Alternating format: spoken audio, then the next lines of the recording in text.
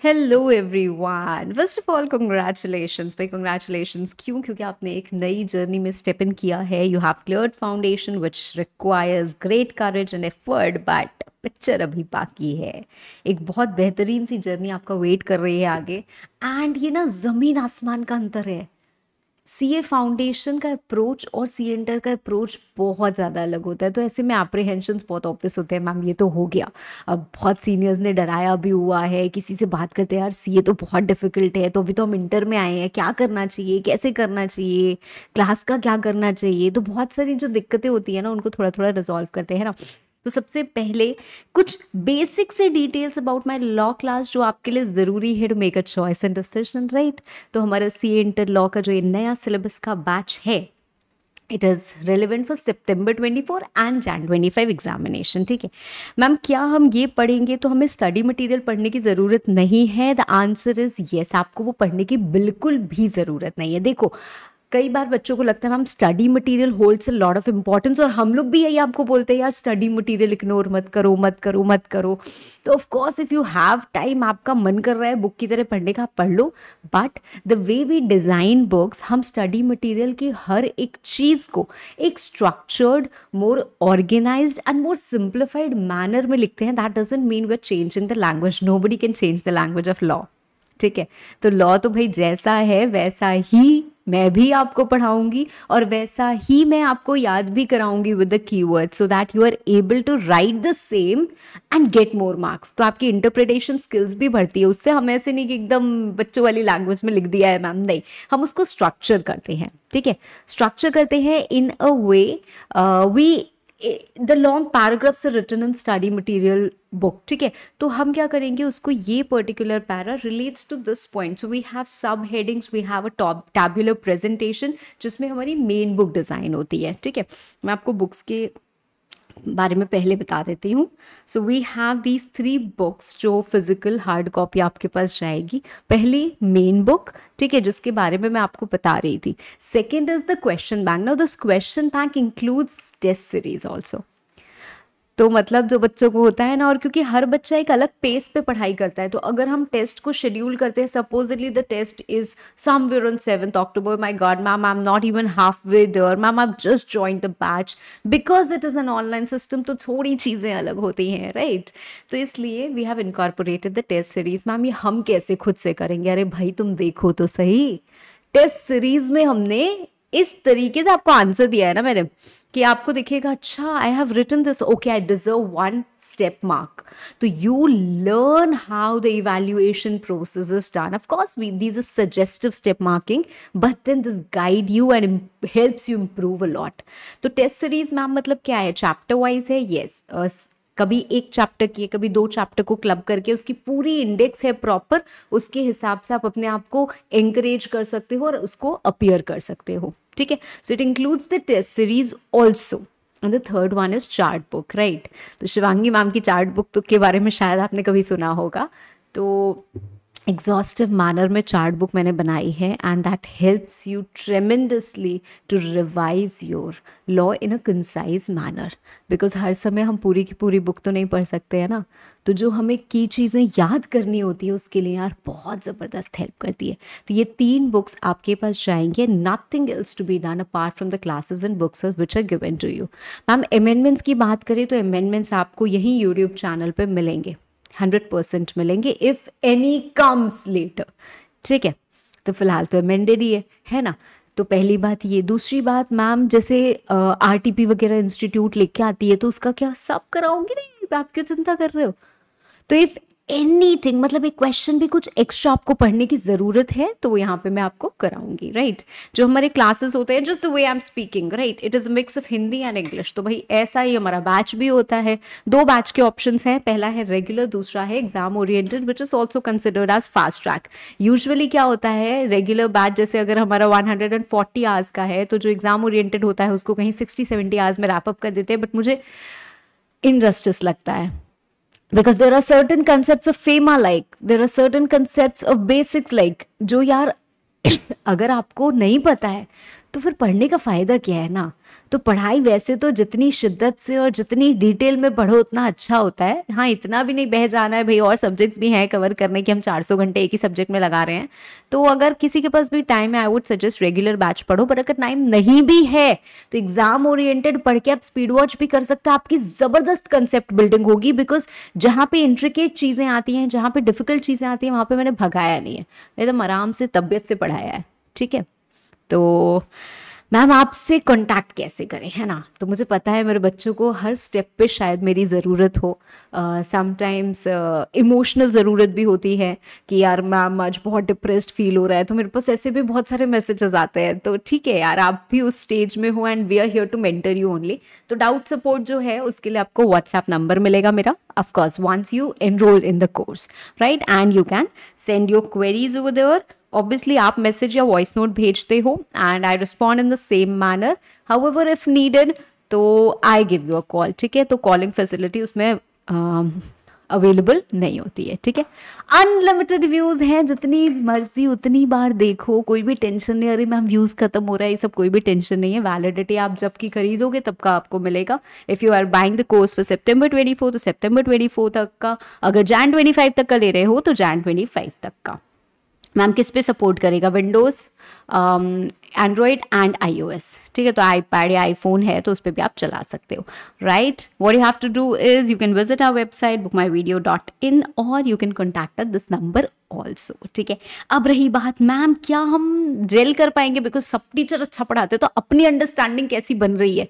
तो उसके लिए भाई आप देख सकते हो इनिशियल फ्यू क्लासेस हम अपलोड कर देंगे, दो तीन चार, है ना? तो वो कोई अलग से डेमो नहीं, हमारे क्लास का ही हिस्सा है। So here it goes and we begin right thank you okay so welcome to the very first class of C A inter law C A intermediate के इस कोर्स स्ट्रक्चर से आप सब अवेयर हो।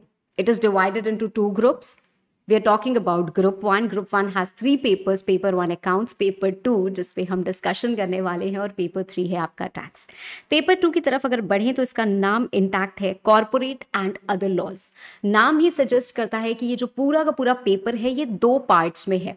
एक इसमें कॉर्पोरेट लॉज हमें पढ़ने हैं और एक इसमें कुछ अदर लॉज पढ़ने हैं. कॉर्पोरेट लॉज आपका सेवेंटी मार्क्स का आता है और अदर लॉज कितने मार्क्स का आता है? कितने मार्क्स का आता है? थर्टी मार्क्स कॉरपोरेट लॉ जो सेवेंटी मार्क्स का है, इसमें सिर्फ़ और सिर्फ़ कंपनीज़ एक्ट अब हमको नहीं पढ़ना है। हमको क्या पढ़नी है? एक एलएलपी एक्ट भी पढ़नी है, ठीक है? तो एलएलपी एक्ट और कंपनीज़ एक्ट, है ना? और अदर लॉज में हमें क्या पढ़ने हैं? तीन टॉपिक्स पढ़ने हैं फेमा जनरल क्लॉजेज एक्ट और इंटरप्रिटेशन ऑफ़ स्टैच्यूट्स कैसा लग रहा है देखने में? आसान लग रहा है कि डिफ़िकल्ट लग रहा है? देखने में तो आसान ही लग रहा होगा, इसमें डिफिकल्टी क्या है? लगभग 900 पेजेस का ये स्टडी मटेरियल बनता है। And trust me when I say 900 pages it is all about learning those pages ये अकाउंट्स या टैक्स नहीं है कि 900 पेजेस अगर मैं कह रही हूँ तो उसमें से 400 पेजेस तो प्रैक्टिकल प्रॉब्लम्स ही होंगी। 400 तो मैं बहुत कम ही कह रही हूँ। ये लॉ है बेटा। इट्स ऑल थ्योरी ठीक है? प्रैक्टिकल एस्पेक्ट भर भर के है बट अल्टीमेटली यार, याद करोगे, लिखोगे तो ही नंबर मिलेगा। तो इसको लाइटली तो बिल्कुल भी मत लेना। Trust me this is huge बहुत एक बड़ा सा टारगेट है जो हमारे आगे है, जिसको हमें एक्चुअली में क्रैक करना है। कंपनीज़ एक्ट की बात करें तो कंपनीज़ एक्ट में आप लोगों को पता है कितने सेक्शंस है? How many sections are there in companies act किसी को आइडिया है? हाँ लग रहा है आप लोगों को। हाँ 470 सेक्शंस मेरे को लगभग समझ में आया। आइडियली पूछो तो 470 सेक्शंस नहीं है। आइडियली हमारे कुछ 480 384 ऐसे करके कुछ सेक्शंस जाते हैं। बिकॉज़ बहुत सारे अमेंडेड सेक्शंस ऐड भी होते हैं। सेक्शन थ्री ए ऐड हुआ सेक्शन टेन ए ऐड हुआ। तो बहुत सारे सेक्शंस ऐड होते हैं ना तो आइडियली सेक्शन ज़्यादा ही है बट ठीक है। 470 सेक्शन क्या सारे पढ़ने हैं? नाजुक सा दिल हमारा, क्या सह पाएगा लॉ का दर्द बेचारा? नहीं। एकदम नहीं। हमें कितने पढ़ने हैं? 148 तक सेक्शंस पढ़ने हैं। सेक्शन नंबर वन से सेक्शन नंबर 148 तक plus we have another chapter which has been incorporated एक और चैप्टर कौन सा इनकॉर्पोरेट हुआ है हमारा? एक और चैप्टर हमारा companies incorporated outside India incorporate हुआ है। आई थिंक मैं आपको, चलो कोई नहीं। यहीं पे लिखती हूँ। Companies incorporated outside India. ये एक पूरा का पूरा चैप्टर है, सेक्शन 379 से लेके 393 ए तक जाता है ये सेक्शन। तो ये भी कुछ सेक्शंस हमको पढ़ने हैं कंपनीज़ एक्ट में। I am just giving you an overview कुछ भी प्रेशर मत लो, अभी फ़िलहाल सुनते जाओ बस। I hope you all are sitting with a copy and pen which is very important आज मैं थोड़ा सा आपको इंट्रोडक्शन दूँगी कि कैसे पढ़ना है, क्या पढ़ना है, और उसके बाद ही हम शुरू कर सकते हैं राइट चल। तो लॉ का ये जो पेपर होता है, इसमें स्ट्रैटेजी बहुत ज़्यादा इंपॉर्टेंट होती है। क्यों स्ट्रैटेजी इंपॉर्टेंट है? मैं सच्ची बता रही हूँ आपको अकाउंट्स में आप बिना स्ट्रैटेजी के पढ़ोगे ना आप आराम से अस्सी नब्बे ले आओगे। क्यों? क्योंकि करते जाना करते जाना करते जाना करते जाना क्या दिक्कत है? अरे चार सवाल किए हैं, इस तरीके का प्रॉब्लम सॉल्व कर लिया तो वो हो ही जाएगा। लॉ में नहीं हो पाएगा। लॉ में कैसे होगा? लॉ में क्या ज़रूरी है? पहले पढ़ा है किसी ने लॉ फाउंडेशन में पढ़ा है ना? और बहुत सारे यहाँ पे डायरेक्ट एंट्री वाले स्टूडेंट्स हैं, उन्होंने भी शायद कहीं ना कहीं पढ़ाओ है ना? पर अगर फाउंडेशन में पढ़ा है तो क्या आपको आइडिया है कि लॉ को कैसे हमको पढ़ना चाहिए? सुनने में बात अच्छी लगे या अच्छी ना लगे, सुननी बहुत ज़्यादा ज़रूरी है। पहला स्टेप होता है समझना। Okay you have to of course understand law second is you have to learn law tip top के पास हुए हैं मैम वेरी गुड तीसरा रिवाइज करना है। चौथा, लिखना ज़रूरी है। राइटिंग और you can also call it as presentation भाई, पता होनी चाहिए। पांचवा, आपके बिफोर एग्ज़ाम्स आप कैसे रहते हो? How is your mind how is your working and of course the day इतना प्रोसेस होता है हमारा लॉ में। समझाने की ज़िम्मेदारी हंड्रेड परसेंट मेरी। ठीक है? याद करने की ज़िम्मेदारी किसकी? हंड्रेड परसेंट आपकी। इसको बांट लेते हैं। ठीक है? कुछ ज़िम्मेदारी मेरी, कुछ आपकी। क्लास में आप अगर प्रॉपरली अटेंड करोगे तो फोर्टी परसेंट कंटेंट तो आपको याद हो जाएगा। ठीक है? एग्ज़ाम में कितने मार्क्स चाहिए होते हैं पास होने के लिए? फोर्टी कभी मत बोलना। You don't need forty marks to pass aggregate में कितने चाहिए? कितने चाहिए? फिफ्टी चाहिए कि नहीं चाहिए? तो कभी भी पासिंग मार्क्स को फोर्टी मत समझो। पासिंग मार्क्स को हमेशा कितना समझना है? फिफ्टी। ठीक है? तो फिफ्टी मार्क्स चाहिए आपको पास होने के लिए। पर हमारा टारगेट कितना है? हमारा टारगेट है eighty plus mission law 80 plus that is our target और हम इसी के लिए काम करेंगे। हाँ कुछ बच्चे ना एमसीक्यू की तरफ़ बहुत ज़्यादा भाग रहे हैं कि मैम तीस नंबर के तो एमसीक्यू आएँगे, उसमें तो तीस में तीस आ गए। और बाकी हम क्या करेंगे, सत्तर में बीस पच्चीस भी आ गए तो अपनी नैया तो पार हो जाएगी। तो नैया पार लगाने के लिए हम यहाँ नहीं आए हैं, ठीक है? We have a huge target to meet and we will meet that right तो लर्निंग का जो प्रोसेस होगा, वो क्लास में होगा। प्लस आपको जैसे जैसे मैं गाइड करूँगी, आप वैसे वैसे करते जाओगे तो आपको बड़े आराम से याद हो जाएगा, ठीक है? ये before exams I will be with you the day में मैं कुछ नहीं कर सकती। तो ये जो लास्ट वाली ज़िम्मेदारी है, ये हंड्रेड परसेंट आपकी है। फ़र्स्ट वाली ज़िम्मेदारी हंड्रेड परसेंट मेरी है। बीच की जो जितने भी स्टेप्स आपको दिख रहे हैं, ये जिम्मेदारियाँ हम लोग क्या करेंगे? बांट लेंगे। ठीक है? Clear are we through with the course structure कि हमें क्या पढ़ना है? कुछ भी करने से पहले पता तो होना चाहिए ना, करना क्या है? किस वाले हम समंदर में डूब रहे हैं। चलो। ठीक है, ये बिल्कुल क्लियर है। अब मैं आपको थोड़ा सा आइडिया देती हूँ कि भाई आपकी बुक्स कैसी रहेंगी। How will this assist you this is my dear our main book जिसमें सबसे पहले आपको दिख रही होगी सेक्शन समरी और उसमें कहीं कहीं दिख रहा होगा स्टार मार्क ये स्टार क्या है? ये इंपॉर्टेंट सेक्शन है। क्या है ये? इंपॉर्टेंट सेक्शंस क्योंकि जैसे जैसे हम प्रोग्रेस करेंगे ना, वैसे वैसे आपको लगेगा, यार मैम, सारे सेक्शंस याद कर रहे हैं, इतने सेक्शन नंबर हम कैसे याद कर पाएँगे? ये सारे के सारे सेक्शन टू हैं। इंटरनली इसके क्लॉजेस भी याद कर रहे होंगे तो बहुत प्रॉब्लम होगी। The hard book will not be coloured और इसमें एज सच बहुत ज़्यादा कलरिंग यूज़ भी नहीं है, इसका कुछ करना नहीं है। ठीक है? फ़िलहाल आप देखो there the book comprises of और the set comprises of three books one is the main book जो मैं आपको दिखा रही हूँ, जिसमें आपको सारा का सारा कंटेंट मिलेगा. There are a lot of extra shorts also क्यों? क्योंकि बच्चों के मन में कंफ्यूजन उठता है। कंफ्यूजन कैसा? है एक गवर्नमेंट कंपनी है। सब लोग फोकस सोच समझ के मेरे को बताना। एक गवर्नमेंट कंपनी है। क्या वो प्राइवेट होती है या पब्लिक होती है? बताओ। पढ़ा है ना? थोड़ा बहुत तो पता है ना? देखो, एक यूनानिमस आंसर आ रहा है कि गवर्नमेंट कंपनी हमेशा पब्लिक होती है। और कोई बोल रहा है नान कोई बोल रहा है depends on the ownership government government होती है। देखो full of confusion it is मान लो यूपी गवर्नमेंट है, ठीक है? और बिहार गवर्नमेंट है। ये दोनों मिलके सोचते हैं कि हमको एक कंपनी बनानी है, ठीक है? उन्हीं दोनों के पास ओनरशिप है। ये पब्लिक कंपनी क्यों बनाएँगे? A government company can be a public company also, it can be a private company also. Companies act में कंपनी तीन तरीके के से फॉर्म होती है प्राइवेट पब्लिक या ओपीसी बस। गवर्नमेंट कंपनी भी या तो पब्लिक होगी या तो प्राइवेट होगी। समझ रहे हो आप मेरी बात? अभी जब मैं पढ़ाऊँगी आपको डिटेल में तो ये कन्फ्यूज़न आपका क्लियर हो जाएगा but what I mean to say is कि ऐसे बहुत सारे छोटे छोटे कन्फ्यूज़न होते हैं जो बच्चों के मन में भर भर के आते हैं, पर वो कंपनीज़ एक्ट कभी क्लियर नहीं कर पाता है। तो उसके लिए क्या है? उसके लिए आप एकदम नीचे जाओगे तो आपको और कुछ मिलेगा। ये देखो, ये हैं कुछ एफ़ बच्चों के मन के जो कंफ्यूजन होते हैं, उनको क्लियर करने के लिए छोटे छोटे ठीक है? ये तो एक्स्ट्रा चीज़ें हैं। Um, कुछ रियल लाइफ एग्जाम्पल्स वगैरह मैंने दिए हैं and this is all the set of definition that we have to read in the first chapter ma'am क्या स्टडी मटेरियल हमको पढ़ने की ज़रूरत है? The answer is no study material की हर एक चीज़ इसमें इनकॉर्पोरेटेड है. इनफैक्ट इसमें आपको दो चार चीज़ें और मिलेंगी पर उसको मैंने एक्स्ट्रा शॉर्ट्स करके लिखा है तो जब एग्ज़ाम के टाइम आप उसको रिवाइज करते हो तो उसको आप स्किप कर दोगे। ठीक है? समझ में आई बात? तो ये पहली हमारी मेन बुक थी। दूसरे आते हैं हमारे चार्ट्स चार्ट्स का क्या रोल होता है?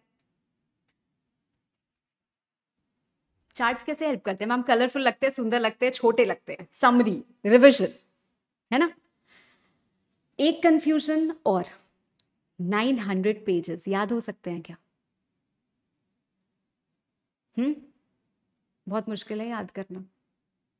तो याद क्या करेंगे मैम या तो हम इन चार्ट्स को याद करेंगे which are attractive which helps us to retain या फिर अगर आप go back to the main file तो यहाँ पे मैंने कुछ चीज़ें अंडरलाइन की हुई हैं।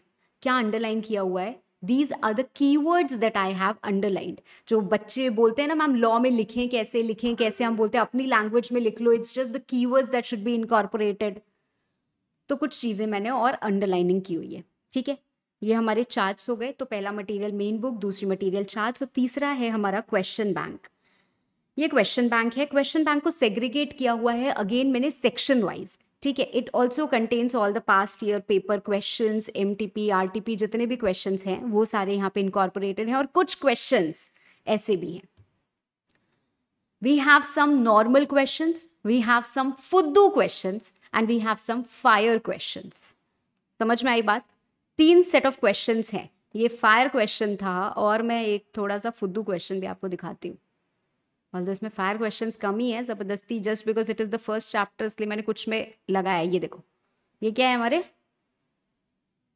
क्या है? What are these come on everyone prompt with me फूफू नहीं यार, फुद्दू। फुद्दू किसको बोलते हैं? हाँ। कोई लिख रहा है फूफू? नाराज़ हो जाएँगे भाई फूफा जी। चलो right so we have these three type of question जिनको हमें करना है, ठीक है?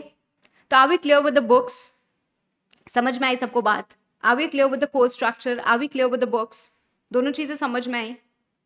चल, यो गुड फाइनली आते हैं हम अगली चीज़ पे। अगली चीज़ क्या है हमारी? इंट्रोडक्शन टू लॉ लॉ क्या है। अच्छा बुक्स का जो बच्चों को थोड़ा कंफ्यूजन हो रहा है, भाई जिसने भी कॉम्बो लिया है, उसके में बुक्स इंक्लूडेड हैं। ठीक है बुक्स इनफैक्ट शायद न्यू सिलेबस में सबके में इंक्लूडेड है you have to check that okay तो चलो भाई, शुरू करते हैं हम। सबसे पहली बात कि लॉ क्या होता है? Law is set of rules and regulation हम सबको पता है, भाई, हम लॉ पढ़ने वाले corporate and other laws corporates क्या होते हैं? बाद में समझेंगे, पहले लॉ क्या होता है, ये तो समझना पड़ेगा। और शायद अगर आपका टैक्स वैक्स का क्लास शुरू हुआ हो because tax is also a kind of law तो आपको थोड़ा आइडिया लग भी गया होगा कि लॉ क्या होता है है ना? सबको पता होगा लॉ क्या होता है, कैसे बनता है। बट मेरा फ़र्ज़ है बताना तो मैं फिर से बताऊँगी ही बताऊँगी आपको कि लॉ क्या होता है और कैसे बनता है। But before we begin that पहली चीज़ जो आप सबको करनी है is devoting half an hour after the class करेंगे सब? यस और नो हाँ या ना? सब करेंगे? परफेक्ट आप अपनी लाइफ के सीईओ e खुद हो.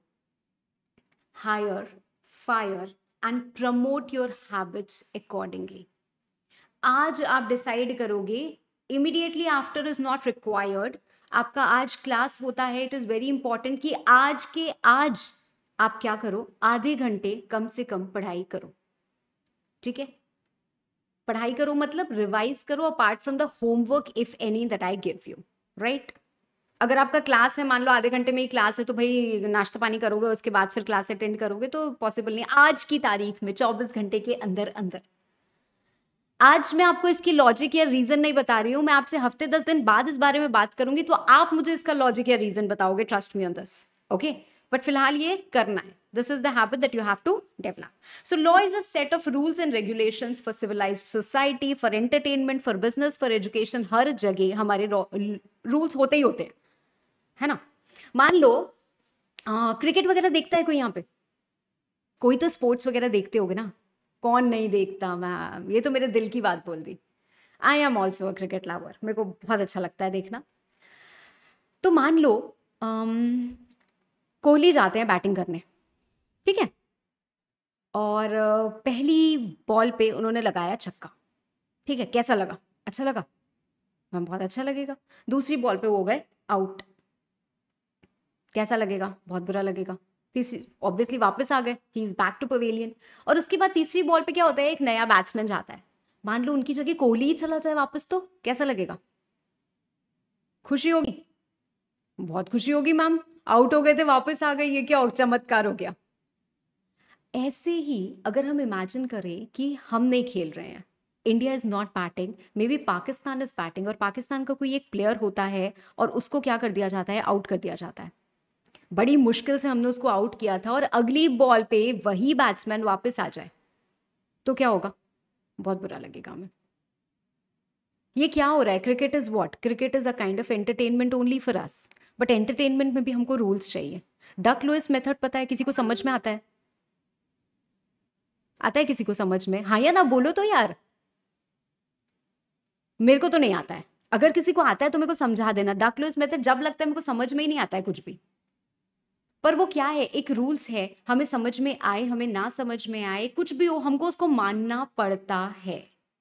Right why for a civilize society में भी फॉर एंटरटेनमेंट फॉर एजुकेशन हर जगह रूल्स रूल्स चाहते, ना चाहते हुए भी हम एन नंबर ऑफ़ रूल्स के साथ आज के जमे आज के जमाने में रह रहे हैं। कैसे रहते हैं हम? बहुत मुश्किल है।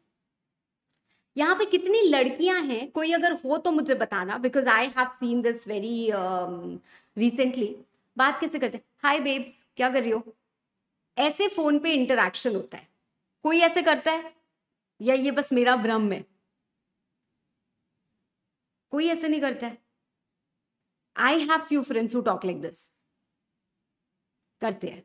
तो कुछ का तो आ रहा है, करते हैं। मान लो भाई, एक ग्रैंड माँ रहती है घर में और उनकी एक पोती है और उसने फ़ोन उठाया सुबह सुबह हाय बेब्स व्हाट्सअप अरे बाबा रे, दादी जी के तो हाथ पैर ठंडे हो गए।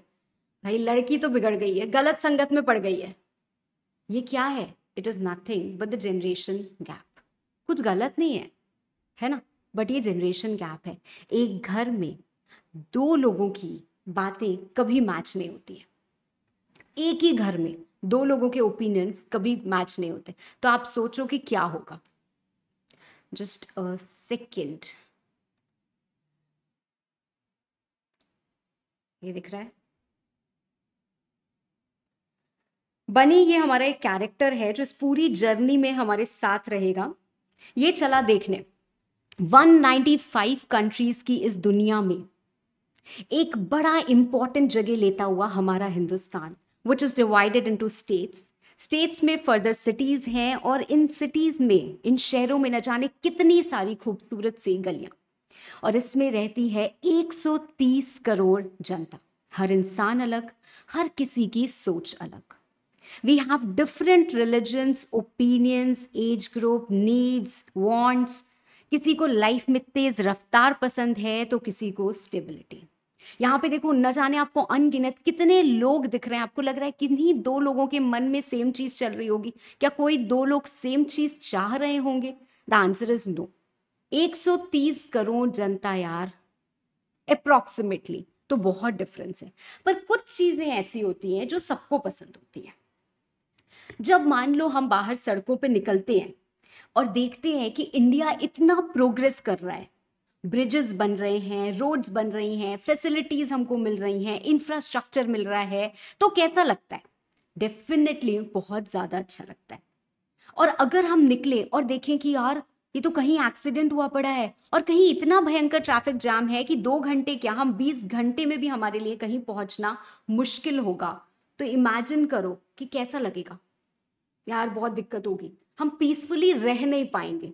घर से अगर हम बाहर निकलते हैं तो हमको दिखता है कि घर में साफ़ सफ़ाई है, भाई पॉल्यूशन नहीं है। अगर मान लो ऐसी सिचुएशन आ जाए कि हम घर से जैसे ही बाहर निकलते हैं we don't find a clean road we don't find those clean surroundings और हर जगह हमको डंप यार्ड ही मिलता है। तो ऐसी सिचुएशन में भाई कैसा लगेगा? अच्छा लगेगा? बिल्कुल भी अच्छा नहीं लगेगा मैम तो कैसे मैनेज किया जाए? रूल्स तो बनाने ज़रूरी हैं। इस वीडियो के बाद आप लोगों को इम्पोर्टेंट समझ में आ गई होगी कि रूल्स की इम्पोर्टेंट कितनी ज़्यादा है। पर यार, हमारे घर में चार लोग रहते हैं। अगर पापा हमारे लिए रूल्स बना दें और बोले, रात में दस बजे घर आ जाना तो क्या हम मान जाएँगे? ऐसा नहीं लगेगा। ये दस बजे पापा कौन घर आता है? आज के ज़माने में जियो पापा। है ना? थोड़ा सा लगेगा कि नहीं लगेगा? तो हम अपने पीओ की नहीं सुनते हैं रूल्स के मामले में। तो कोई भी एरा गहरा आएगा और हमारे लिए रूल्स बनाएगा और हम उसको मानेंगे। मानना पड़ेगा? क्यों मानना पड़ेगा? नहीं मानेंगे हम तो। जीएसटी आया, आपसे अगर मैं पूछूँ कि कौन लाया जीएसटी क्या बोलोगे? बोलते ना, मोदी जी जीएसटी लेके आए। ऐसे बातें चलती है ना, पर ये कौन बातें करता है? एक कॉमन मैन आज आप कौन हो? You are not a common man you are a law student और आपको पता होना चाहिए। देखो, बहुत सारे लोग लिख रहे हैं सेंट्रल गवर्नमेंट सेंट्रल गवर्नमेंट कोई लिख रहा है, अरुण जेटली लेके आए। पॉइंट इज़ लॉ हमारे देश में हम खुद बनाते हैं। हम अपने लिए इतना बुरा कर रहे हैं मैम मानो या ना मानो the supreme power lies in the hands of people हमने बनाया है कॉन्स्टिट्यूशन संविधान भारत का, जो सबसे बड़ा है। और संविधान ने कुछ लोगों को पावर दी है टू मेक लॉ मैं आपको आज काफ़ी सारी चीज़ें डिटेल में बता रही हूँ बिकॉज़ जब आप लॉ पढ़ते हो ना तो आपको आपके लीगल सिस्टम के बारे में पता होना बहुत ज़्यादा ज़रूरी होता है। As a general citizen of India जब हम वोट करते हैं, हम दो बार वोट करते हैं। I hope you all know that जिसको पता है वो बस सुन ले और जिसको नहीं पता है वो और ध्यान से सुने। बिकॉज़ ये आपको पता होना चाहिए। एक बार हम लोकसभा इलेक्शंस के लिए वोटिंग करते हैं और दूसरी बार हम किसके लिए करते हैं? विधानसभा आप कह लो या स्टेट लेजिस्लेटिव असेंबली मतलब एक रिप्रेजेंटेटिव हमारा स्टेट में बैठता है और एक रिप्रेजेंटेटिव हमारा नेशनल लेवल पे बैठता है। हाँ कि ना? समझ रहे हो आप मेरी बात? तो ये जो इतनी बड़ी सी कंट्री है इंडिया जिसमें 130 करोड़ लोग हैं, जिनके लिए हमको नियम बनाने ज़रूरी हैं for a peaceful civilize society हम ये पॉसिबल नहीं है कि हर एक के घर पे जाएँ। ओ भाई साहब, ये ना नया नियम आ रहा है। आपकी कंसेंट है क्या? है। अच्छा चलो, इनकी कंसेंट है। ऐसे हम पूछ पूछ के नियम नहीं बना सकते। तो it is divided into to be precise 545 parts और वहाँ के सबके एक रिप्रेजेंटेटिव है, वो रिप्रेजेंटेटिव क्या करते हैं? वो लॉ बना रहे हैं। है ना? है या ना? तो भाई लॉ क्या है? लॉ एक set of rules and regulations है। एक्ट से टर्म वाइडर है। अगर लॉ की बात करें तो लॉ में act rules regulations notification circular सब आ जाते हैं। धीरे धीरे आपको इन सारी चीज़ों का मतलब समझ में आएगा। ठीक है? मैं धीरे धीरे बताऊँगी, आज के दिन इतना सारा नहीं बताऊँगी। ठीक है? लॉ की ज़रूरत क्या है? लॉ की ज़रूरत है हमको to maintain law and order ठीक है?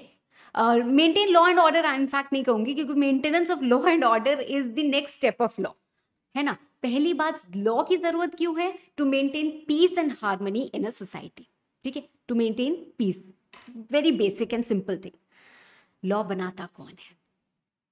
We have made constitution constitution में लिखा है कि इंडिया एक डेमोक्रेटिक नेशन है. Supreme power lies in the hands of people तो लोग जो हैं, लोग बताएँगे कि कैसे लॉ बनेगा। और लोगों ने बताया है कि हम इलेक्ट करेंगे कुछ लोगों को which will actually make law ठीक है? So that's how our government is by the people for the people of the people है ना? हाँ या ना? हाँ ना या ना? समझ में आ रही है बात? ठीक है। तो कॉन्स्टिट्यूशन क्या है? ये बेसिकली आप लोगों को पता होगा कॉन्स्टिट्यूशन हमारा बाईस पार्ट में डिवाइडेड है एंड थ्रू इट्स आर्टिकल्स ये डिफरेंट अच्छा गवर्नमेंट के कौन से तीन ऑर्गन्स हैं या विंग्स हैं? कोई बता सकता है? एनी वन गवर्नमेंट के कौन से तीन ऑर्गन्स या विंग्स होती हैं? स्टेट यूनियन नहीं. गवर्नमेंट के तीन हाँ legislative executive judiciary excellent legislative क्या करते हैं? लेजिस्लेटिव क्या करते हैं? लेजिस्लेटिव लॉ बनाते हैं एग्जीक्यूटिव लॉ को एग्जीक्यूट करते हैं, या जो हम बोलते हैं मेंटेन लॉ एंड ऑर्डर और जुडिशियरी एक्चुअली लॉ को इंटरप्रेट करते हैं। ठीक है? तो ऑर्गन्स ऑफ़ गवर्नमेंट हमारे तीन हैं लेजिस्लेटिव एग्जीक्यूटिव और जुडिशियरी ठीक है? लेजिस्लेटिव मेक्स लॉ मतलब हमने जिसको इलेक्ट किया, लोकसभा में वो जाके मेंबर्स ऑफ़ पार्लियामेंट बने, वो बैठे। हमने एक और इलेक्शन किया था मतलब एक और वोटिंग की थी, जो स्टेट लेजिस्लेटिव असेंबली के लिए थी, जो स्टेट लॉज बनाते हैं। वो इलेक्शन करके कुछ और लोगों को बैठाते हैं राज्यसभा में। तो आइडियली हमारे पास राज्यसभा, लोकसभा, विधानसभा तीन जगह हुई। हुई कि नहीं? Lok Sabha, Rajya Sabha plus president is equal to is equal to parliament जब हम बोलते हैं ना, पार्लियामेंट ने लॉ बनाया है, पार्लियामेंट ने कोई कानून बनाया है तो उसका मतलब क्या होता है? लोकसभा के मेंबर्स ने मेजॉरिटी से पास किया, क्योंकि यूनानिमस तो हम कंसेंट मांग नहीं सकते, ले ही नहीं सकते।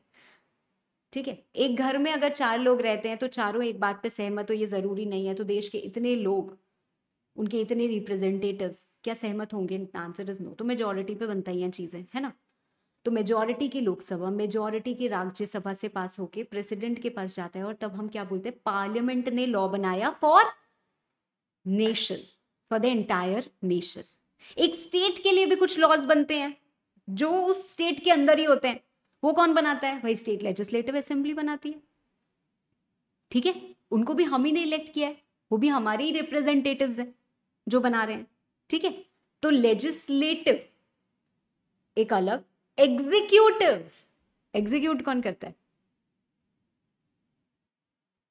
लॉ एंड ऑर्डर गवर्नमेंट अब आती है बात सेंट्रल गवर्नमेंट की।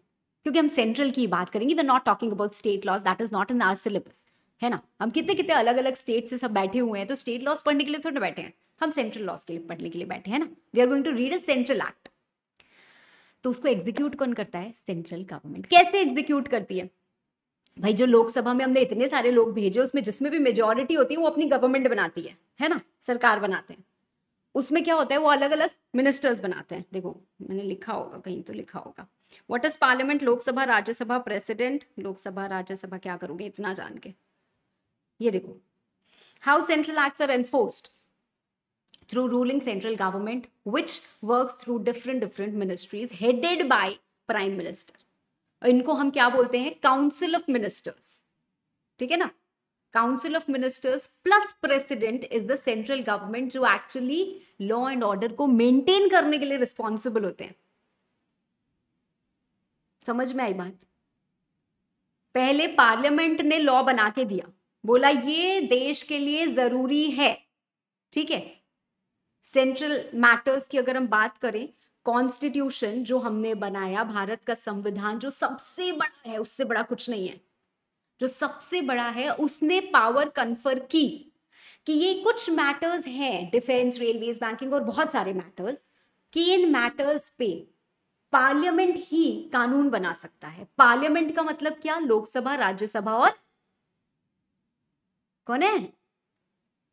प्रेसिडेंट मुझे दिखाई दे रहा है, जो जो नहीं बोल रहा है ना, मैं सबको देख रही हूँ। अभी मैं क्लास के बाद ना लगाऊँगी आपकी क्लास। भाग मत जाना। तो कौन है? प्रेसिडेंट ये तीनों क्या होते हैं? Parliament parliament has the power to make law ठीक है? तो पार्लियामेंट ये पावर यूज़ करके लॉज बनाते जिनको हम क्या बोलते हैं? अल्टीमेटली एक्ट है ना? और भी बहुत सारे मेथड्स होते हैं ऑफ़ मेकिंग लॉज कि हमें, भाई इमरजेंसी है तो हम ऑर्डिनेंस भी निकालते हैं तो बहुत नोटिफिकेशन होता है तो रूल्स रेगुलेशन अभी वो सबके बारे में आपको धीरे धीरे धीरे धीरे पता चलेगा। फ़िलहाल हम एक सेंट्रल एक्ट को स्टैब्लिश करने की कोशिश कर रहे हैं तो हम यहाँ से आगे बढ़ेंगे। स्टेट लिस्ट कॉन्करेंट लिस्ट आपको पता है, मैं इतना डिटेल में आपको समझाने वाली नहीं हूँ because this is something that you don't need and you know it right किसी को अगर एक्स्ट्रा नॉलेज के लिए समझना हो तो मेरे को पूछ सकते हो, ठीक है? Okay okay? चलो भाई। तो तो तो तो। बिज़नेस लॉ बिज़नेस करना है तो बहुत सारे बिज़नेस लॉज हैं। इंडस्ट्री चलानी है फैक्ट्री चलानी है तो इंडस्ट्रियल लॉज को देखना पड़ेगा। लेबर लगाना है, अगर आपने फैक्ट्री खोली, उसमें आपको लेबर अपॉइंट करना है तो लेबर लॉज को कंप्लाई करना पड़ेगा। है ना? कोई कॉन्ट्रैक्ट में एंटर करते हो इंडियन कॉन्ट्रैक्ट एक्ट है गुड्स बेचते हैं सेल ऑफ़ गुड्स एक्ट है। चेक साइन किया। नेगोशियबल इंस्ट्रूमेंट्स एक्ट है। रोड पे चल रहे हैं। हमारी मोटर व्हीकल एक्ट है। है ना? तो हर जगह हमारे पास अलग अलग लॉज बने हुए फॉर डिफरेंट डिफरेंट पर्पसेस अगर हमें कॉरपोरेट्स को चलाना है। Corporate is what it is a type of business organisation एक तरीके का बिज़नेस ऑर्गेनाइजेशन ही और कुछ नहीं। अगर इसको चलाना है तो भी सेंट्रल एक्ट एक पास हुई। किसने पास की? हम ये नहीं बोलेंगे सरकार ने पास की। It is passed by Parliament. Okay, so Central Act called as Companies Act 2013 is passed by Parliament using its power. बहुत सारी एंट्री uh, रहती है residual entry of union list इतना डिटेल में हम नहीं जा रहे but you know that right okay तो कंपनीज़ एक्ट के लिए लॉ किसने बनाया? पार्लियामेंट ने. इसको एग्जीक्यूट कौन करेगा? Central government through its ministry कौन सी मिनिस्ट्री रिस्पॉन्सिबल है? Ministry of corporate affairs this is one thing you all should know इसमें अब कोई भी इफ़ एंड बट नहीं होना चाहिए। एक चीज़ है जो आपको पूरे के पूरे कंपनी लॉ में काम आएगी एमसीए जिसको हम शॉर्ट में बोलते हैं ministry of corporate affairs so for companies act the legislative body is parliament the executive body is MCA ministry of corporate affairs and of course the judiciary body तो judiciary body में क्या आते हैं? हमारे courts वगैरह होते हैं। अभी आपको इंटरप्रेट्स लॉ नहीं समझ में आ रहा होगा धीरे धीरे आएगा, मैं बताऊँगी आपको, ठीक है? बट जुडिशियरी सजा देती है। अगर कोई फॉलो नहीं करता है तो उसको उसको सही बताती है कि नहीं रूल ये है या लॉ ये है, उसको इंटरप्रेट करती है। What is it NCLT NCLAT special courts फ़िलहाल ये बस इंट्रोडक्शन था, ठीक है? इसके आगे अभी हम कुछ नहीं पढ़ रहे हैं। ये क्लियर है? Everyone SEBI is kind of quasi judicial body. It also makes rules. It also um, interprets. ठीक है? तो वो एक अलग तरीके की बॉडी है उसके बारे में भी हम डिस्कस करेंगे। ठीक है? क्योंकि आपने पूछा तो मैंने आपको थोड़ा सा बता दिया। ओके एवरी वन चलो भाई। तो इस पेपर का कॉरपोरेट लॉ में हम शुरू करते हैं सबसे पहले। Companies Act 2013. We'll begin with Companies Act 2013, which is ideally divided into 29 chapters, but हमको सब नहीं पढ़ना है। हमको थोड़ा सा ही उसका कंटेंट पढ़ना है और वो हम बिल्कुल पढ़ेंगे। एक क्विक रिकॉल कर लेते हैं। अभी तक जितनी बातें मैंने आपको समझाई उसकी। What is the meaning of law जो नहीं बोलेगा वो आगे नहीं बढ़ेगा। मैंने आज आपको बोला है please hire fire and promote your habits accordingly today is the time to develop one good habit of how you attend the class बस आपको बोलना है। आप जहाँ बैठे हो, आपको बोलना है trust me it is for you it is not for me what is the meaning of law set of rules and regulations very good is it different from act क्या एक्ट से अलग होता है? The answer is yes act से अलग होता है। Act wider term है कि लॉ वाइडर टर्म है? लॉ वाइडर टर्म है। लॉ में क्या होता है? सर्कुलर नोटिफिकेशन सारी चीज़ें आ जाती हैं और act is only act act कौन बनाता है?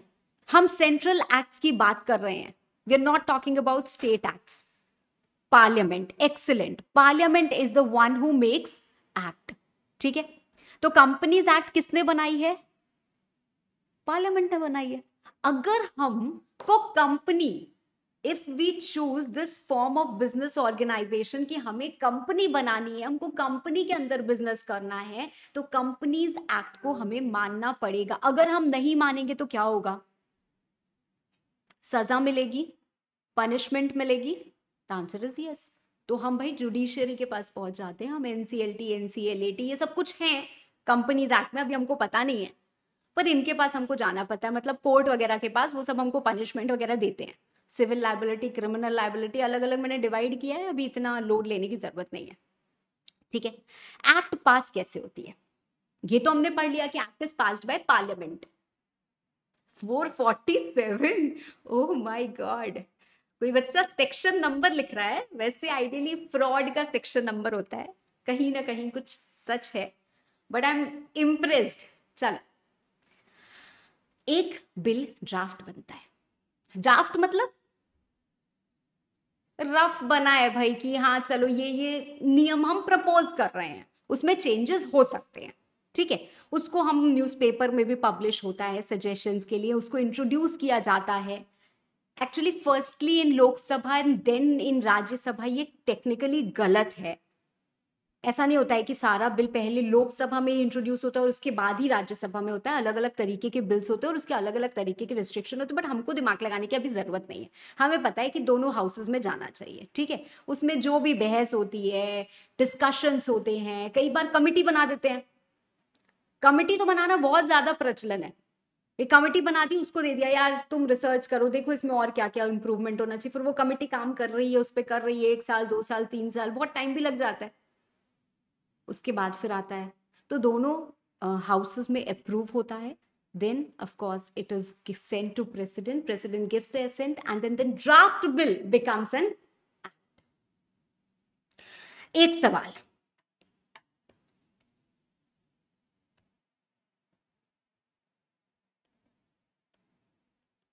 Companies Act 2013. Companies Act 2013. ये वन ये टू दोनों में से क्या सही है? क्या दोनों सही हैं? क्या दोनों गलत है? कौन सा सही है, कौन सा गलत है? कुछ बच्चे सोच रहे हैं, यार मैं पूछ क्या रही है? एक ही जैसा तो लिखा है. फ़र्स्ट इज़ राइट ये क्यों मैं पॉइंट आउट कर रही हूँ? क्योंकि ये सी ए इंटर लॉ में स्टूडेंट्स की पहली गलती होती है। और फिर हमें लगता है कि यार मैम सब सही तो लिखा था। ये सरासर गलत है। एक्ट जैसे ही आपने लिखा मतलब आप कोई एक्शन की तरफ़ रिप्रेजेंट कर रहे हो।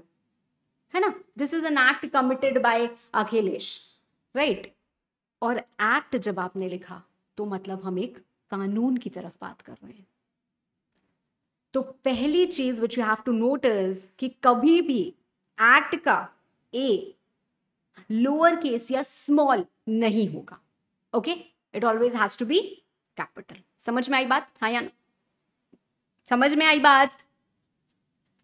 चल। अब भाई अगर किसी को भी बिज़नेस करना है मुझे बिज़नेस स्टार्ट करना है। कौन यहाँ पे है जो लाइफ में आगे बिज़नेस करना चाहते हैं? कुछ भी मतलब ऐसा ज़रूरी नहीं है। अच्छा अच्छा बहुत सारे दिख रहे हैं। मेरे को लगा यार कोई भी नहीं होएगा।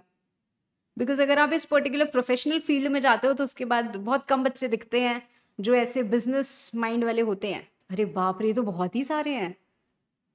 कहाँ फंस गए बच्चों? चलो नेवर माइंड अगर आप लाइफ में बिज़नेस करना चाहते हो तो what are the options that you have you can go for proprietorship है या ना? आप खोल सकते हो partnership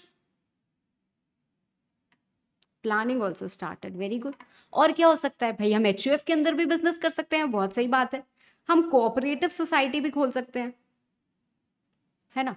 और हम क्या कर सकते हैं? हम एलएलपी खोल सकते हैं। वेरी गुड ट्रस्ट बिज़नेस नहीं करता है एक्चुअली ठीक है? वो थोड़ा सा अलग पर्पस हो जाता है। और उसके बाद आती है कि हम कंपनी भी खोल सकते हैं। कंपनी मतलब हमारी ओपीसी भी हो सकती है। It could be a private company है ना? It could be a public company कितने सारे ऑप्शंस अवेलेबल हैं। मैंने आपको अभी अभी इंट्रोड्यूस किया था एक कैरेक्टर के साथ विच इज़ बनी देखा था सबने बनी को? नहीं देखा? अभी हमने वीडियो देखा तो उसमें स्कूटर चला रहा था बनी देखा था कि नहीं देखा था? हाँ। तो बनी के भी दिमाग में आया कि उसको एक बिज़नेस स्टार्ट करना है। तो उसके साथ क्या हुआ? थोड़ा सा आइडिया लेते हैं देखते हैं। ठीक है? सारी उम्र खेलता रहेगा या कोई काम भी करेगा। बहुत हुआ अपमान आप करूँगा मैं काम।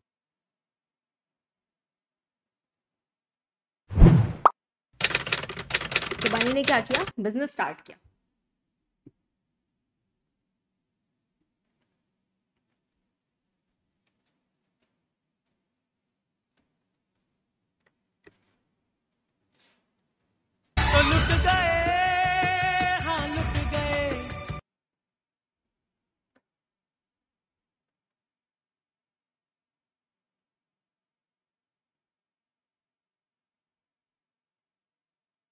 Mm-hmm.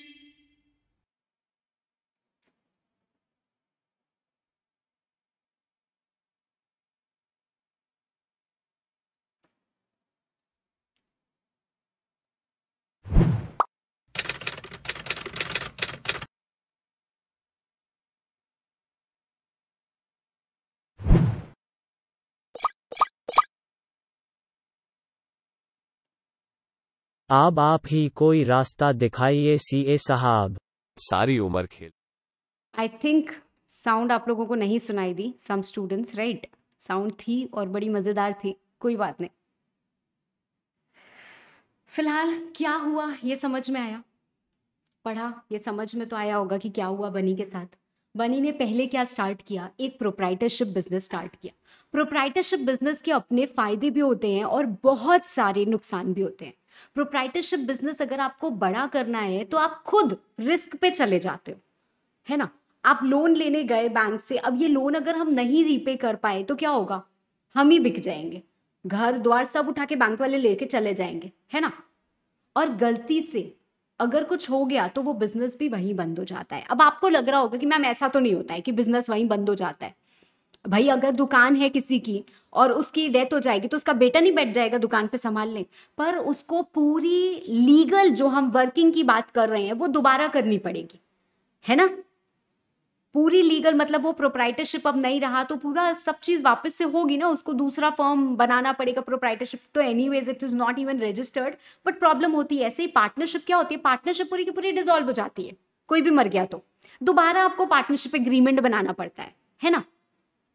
तो किसी की भी अगर डेथ होती है तो इट गेट्स डिजॉल्व दूसरी बात liability the main disadvantage of such type of business is liability तो लास्ट में जो आपको बनी दिखा होगा फ़ोन पे बात करते हुए, वो एक्चुअली बोलता है कि अब आप ही कोई रास्ता दिखाइए सीए साहब.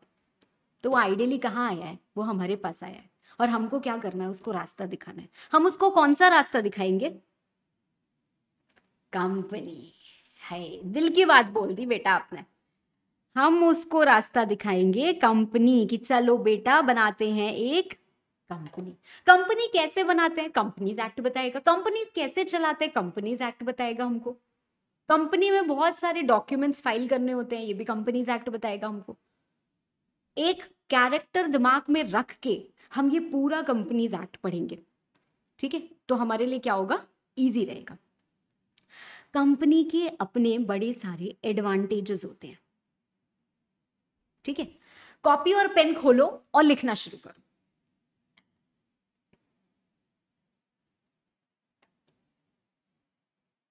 क्या लिखेंगे मैम?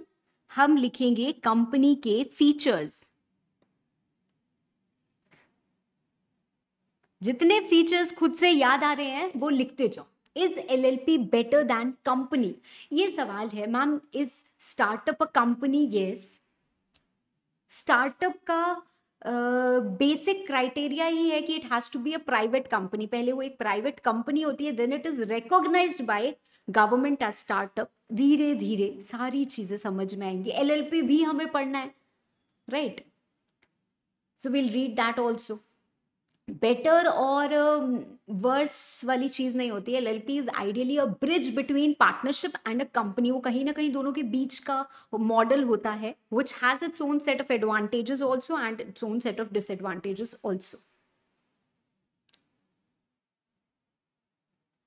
sole proprietorship को आइडियली कहीं रजिस्टर कराने की ज़रूरत नहीं होती है but there are certain things जैसे अगर आपको जीएसटी है तो आपको उसमें रजिस्टर कराना ही कराना पड़ेगा if you are complying with the limit right hybrid of company and partnership you can say that चलो तो कंपनी के फीचर्स लिखे किसी ने कि आप लोग वेट कर रहे हो कि मैम लिखेंगी तो हम भी लिखेंगे? सबसे पहला अच्छा एक सवाल पूछती हूँ। देखती हूँ कि कोई आंसर दे सकता है कि नहीं दे सकता है? थोड़ा सा अलग है सवाल, कभी सुना नहीं होगा आपने। पूछू? हाँ या ना? चल ब्रिंग इट ऑन मैम ऐसी कौन सी चीज़ है जो कंपनी में हर वक्त होती है, पर कंपनी नहीं कर सकती? ऐसी कौन सी चीज़ है जो कंपनी में हमेशा होती रहती है, पर कंपनी वो नहीं कर सकती? ना management wrong decision making wrong और सोचो थोड़ा थोड़ा और सोचो। डिसीज़न मेकिंग आप लोगों ने लिखा है। कंपनी अपने डिसीज़न लेती कैसे है? वर्क ये भगवान क्या यार कुछ भी। आहा finally I got an answer I am so happy Bhanu Prakash. आपसे तो मैं मिलना चाहूँगी। वोटिंग इसका आंसर क्या है? वोटिंग कंपनी में हर वक्त होती रहती है, क्योंकि कंपनी के सारे डिसीज़न कैसे होते हैं वोट से ही होते हैं।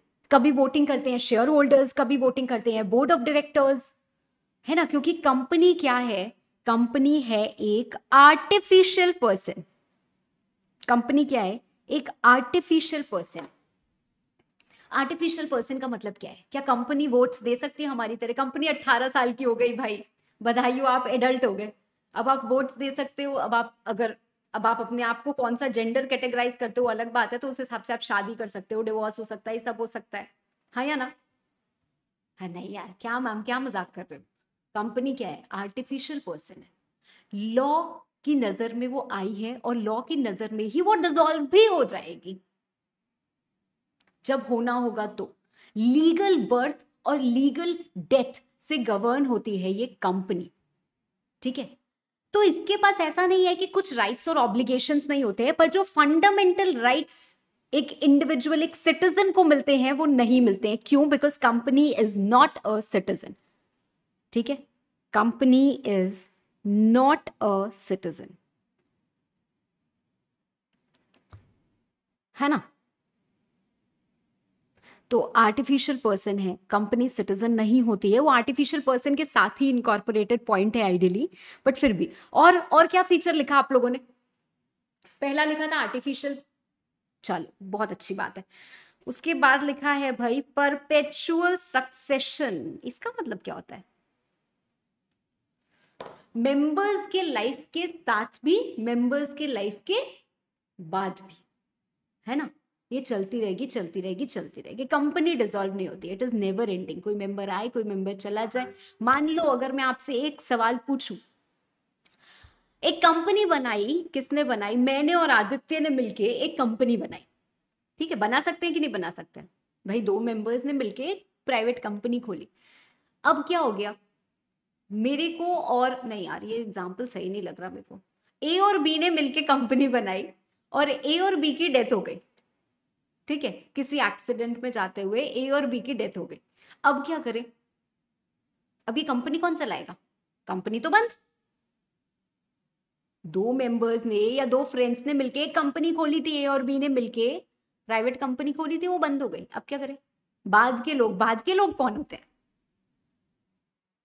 कौन चलाएगा कंपनी हम बोल रहे हैं ना कि परपेचुअल सक्सेशन कोई आए, कोई जाए कंपनी चलती जाएगी चलती जाएगी चलती जाएगी बट प्रैक्टिकली भी तो सोचो ना, कैसे चलती जाएगी? Legal heirs या legal representative. The shares are legally transmitted. भाई, आपकी वैसे तो बहुत ज़्यादा शायद कोई जायदाद संपत्ति अभी हो नहीं, क्योंकि उतनी डेवलप की नहीं होगी, अभी उन उस प्रोसेस में हो। बट मान लो जो भी है, वो किसी को भी अगर कुछ हो जाएगा तो वो किसी को पास ऑन होगी ना तो वो शेयर्स भी किसी को पास ऑन हो जाते हैं। कंपनी अपनी एग्जिस्टेंस लूज नहीं कर सकती है करती है हो सकता है भाई कोई बिज़नेस चलाने वाला नहीं मिले तो धीरे धीरे क्या होगा? कंपनी में बिज़नेस बंद हो जाएगा तो फिर आर उसको लीगली क्लोज कर देगी बट किसी के भी जाने से वो कंपनी तुरंत अपनी एग्जिस्टेंस खो दे जैसे एक पार्टनरशिप फॉर्म डिजोल्व हो जाता है ऐसा नहीं होता है। सो so, इसीलिए कहते हैं परपेचुअल सक्सेशन क्लियर है? और क्या फीचर होता है? अगला फीचर आया। सेपरेट लीगल एंटिटी इसका मतलब क्या है? भाई, जो बनी के साथ हुआ बैंक वाले उठा के ले जाएँगे उसको। यहाँ पे नहीं लेके जाएँगे। कंपनी अब अब इसमें एग्ज़ाम्पल में हम रख सकते हैं। मैंने और आदित्य ने मिलकर कंपनी बनाई। हमारा सारा का सारा पैसा क्या हो गया? डूब गया। हमने लोन लिया बैंक से पचास लाख रुपए और। हमने कहा कि पचास लाख रुपए बैंक से लोन लेंगे और उसके बाद कंपनी को आगे बढ़ाएँगे। हमने वो सारा पैसा भी लगाया था कहीं कहीं इन्वेस्ट किया, वो भी पैसे हमारे लेके भाग गए, सब डूब गया। अब क्या करें? घर पे बैठो चिल करो। कंपनी ने पैसे लिए थे कंपनी के पैसे डूबे, है ना? हमने पैसे नहीं लिए थे। We are not personally liable क्यों? क्योंकि कंपनी अलग और हम अलग। आप कंपनी को पकड़ो ना, कंपनी के पास जो है सब ले लो। बस हमें छो, हमें छोड़ दो। ठीक है? तो कंपनी के एसेट सीज करेंगे, सब चीज़ करेंगे, जो करना होगा वो करेंगे। राइट ठीक है? धीरे धीरे आगे बढ़ते जाएँगे हम। अभी हम सिर्फ़ इंट्रोडक्शन ले रहे हैं और ये इंट्रोडक्शन ऐसा है जो आपसे एग्जामिनेशन में नहीं पूछा जाएगा। सो डोंट थिंक कि आपसे एग्ज़ाम में क्वेश्चन आएगा right the features of a company बिल्कुल नहीं आएगा। कभी नहीं आएगा। ठीक? पर ये पता होना चाहिए। उसके बाद किसी बच्चे ने लिखा है कॉमन सील कॉमन सील क्या मेरी आवाज़ में कोई प्रॉब्लम आ रही है? या मेरी आवाज़ क्लियर है? हम्म? आवाज़ में कोई प्रॉब्लम आ रही है क्या? कि क्लियर है? क्लियर है? चलो, बहुत अच्छी बात है। ओके कॉमन सील का मतलब क्या होता है? किसी को पता है? कॉमन सील का मतलब होता है कंपनी का सिग्नेचर आइडियली ठीक है? ये पहले मैंडेटरी हुआ करता था कि हर कंपनी को एक अपनी सील रखनी ज़रूरी है। सील क्या होता है? ठप्पा होता है ना? ठ से ठप्पा पढ़ा होगा बचपन में, है ना? तो वो क्या होता है?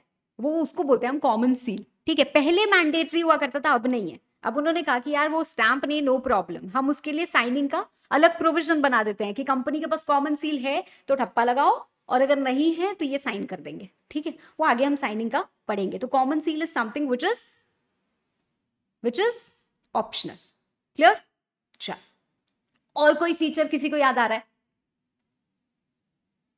लिमिटेड लाइबिलिटी अगेन मेरा एक सवाल आपसे और मैं देखूँ। मैं राइटिंग थोड़ी गंदी गंदी से लिख रही हूँ, इतनी गंदी मेरी राइटिंग है नहीं, मैं आपको बता दूँ। दो दो सेंटेंसेस में लिखूँगी सेंटेंस नंबर वन और सेंटेंस नंबर टू आपको बताना है कि इसमें से सही क्या है। सोच समझ के ध्यान से। लाइबिलिटी ऑफ़ कंपनी इज़ या थोड़ा सा और। In case of limited company in case of limited company liability of company is limited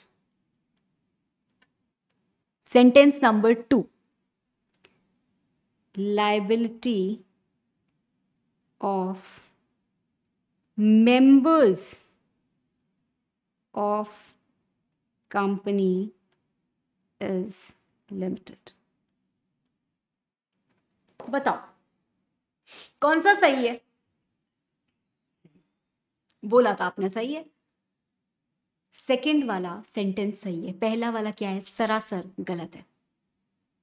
company ने अगर ले लिया पचास लाख का लोन तो ऐसा थोड़ा है बैंक वाले बोलेंगे, अरे तू कंपनी है, तेरी लाइबिलिटी तो लिमिटेड है दस लाख तक। तो एक काम करो, तुमको छोड़ दिया हमने। नहीं। कंपनी को तो डुबा डुबा के मारेंगे। हो सकता है कंपनी के सारे एसेट उठा के बेचने पड़ जाए। जिसको हम बोलते हैं कि इंसॉल्वेंसी और बैंकरप्सी वाली जो स्टेज आ जाती है, वो भी आ जाए।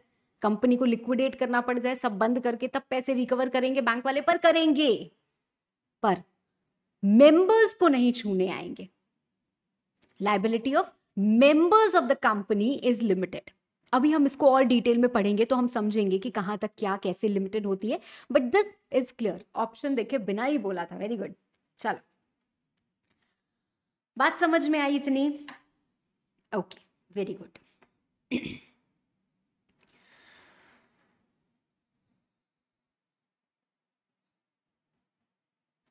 तो बेसिक्स ऑफ़ कंपनी पे पहले हम आ रहे हैं।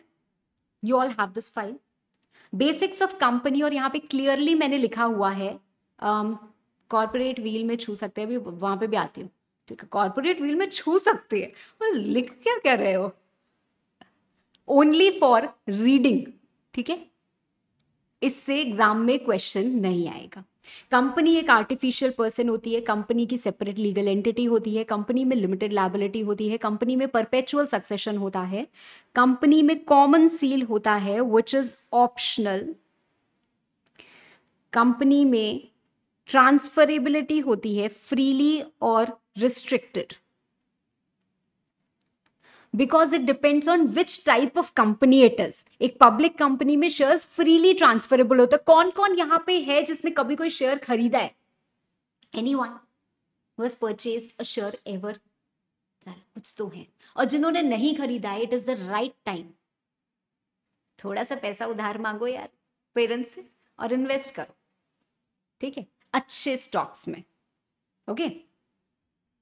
Trader and investor Bodh भाई ट्रेडर के लिए मैं नहीं बोल रही, आपको मैं यहाँ पे ट्रेडिंग करने की प्रेरणा बिल्कुल भी नहीं दे रही हूँ और कोई टिप भी नहीं दे रही हूँ, ठीक है? पर इन्वेस्ट करने के लिए definitely I am inspiring you all ठीक है? हाँ किया है बट बहुत गलत शेयर्स में नहीं, गलत शेयर्स में नहीं करना और प्रॉफिट ये ये सब मेरा मोटिव नहीं है। कुछ अच्छे जो आपके इंडेक्स फंड्स होते हैं, भाई इन्वेस्ट करने के मोटिव से मैं आपको बोल रही हूँ कि करना चाहिए, हर किसी को। This is the right age to start बाद में करोगे, लगेगा, अरे यार, काश तब कर लिया होता। तो थोड़ा सा यार, हज़ार, दो हज़ार रुपए तो इधर उधर से मिलेंगे ना। जोड़ जाड़ के मिल जाते हैं, नहीं तो पापा वापा दे देते हैं, है ना? करो, ठीक है?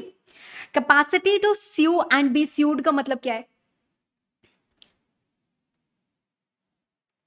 कंपनी के ऊपर कोई केस फ़ाइल कर सकता है। In the name of company मतलब अगर आज मेरे साथ रिलायंस इंडस्ट्रीज़ लिमिटेड कुछ गलत करे तो मैं क्या कर सकती हूँ? केस फ़ाइल कर सकती हूँ। ये बात अलग है कि वो केस कहीं नहीं जाएगा, पर मैं कर सकती हूँ केस फ़ाइल है ना? उनके नेम पे, ठीक है? वैसे ही they also have the right to hold property in its own name these are the rights available to a person and not just a citizen क्योंकि सिटीजनशिप कभी भी कंपनी के पास नहीं होती है। तो वो राइट्स जो सिर्फ़ एक सिटीजन को मिलते हैं, वो कंपनी को कभी भी नहीं मिलेंगे। ठीक है? क्योंकि सिटीजनशिप के लिए क्या है? नेचुरल पर्सन होना ज़रूरी है, तभी हमको सिटीजनशिप मिलती है। This is an company is an artificial person ठीक है?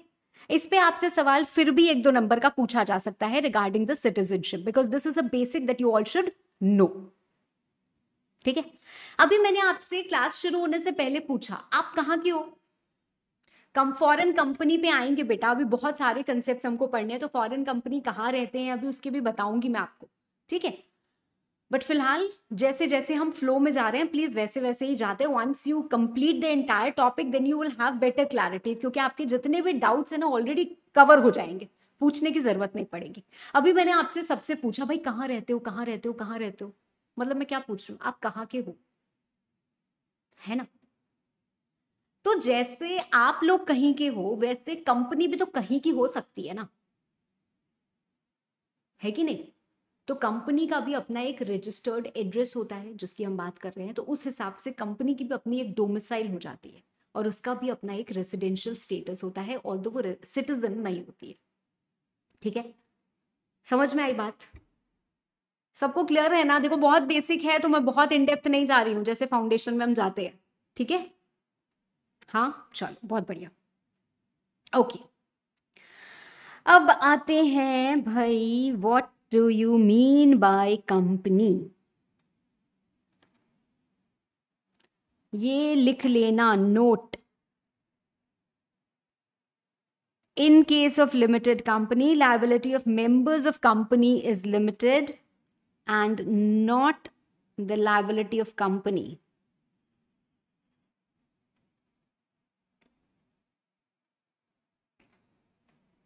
ऊपर हेडिंग दे देना बेसिक्स ऑफ़ कंपनी और उसमें ये फीचर्स और ये एक लाइन ये दो चीज़ लिख लेना.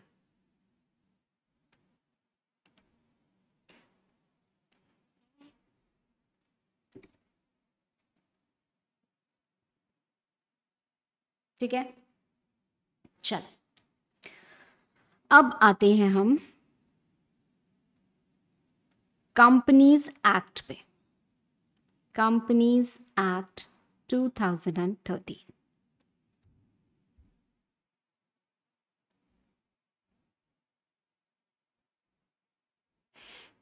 ठीक है?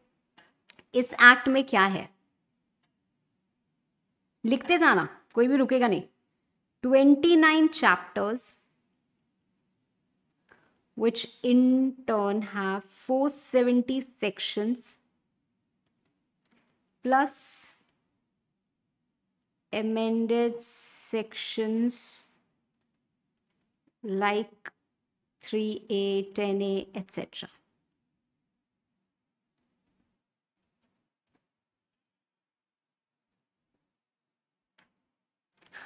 बच्चों की एक्सपेक्टेशन देखो। मैम हैंड रिटन जो आप अभी लिख रहे हैं वो मिल जाएगा क्या? भाई लिखवा रही हो ना लिखो। ये बिल्कुल भी नहीं मिलेगा।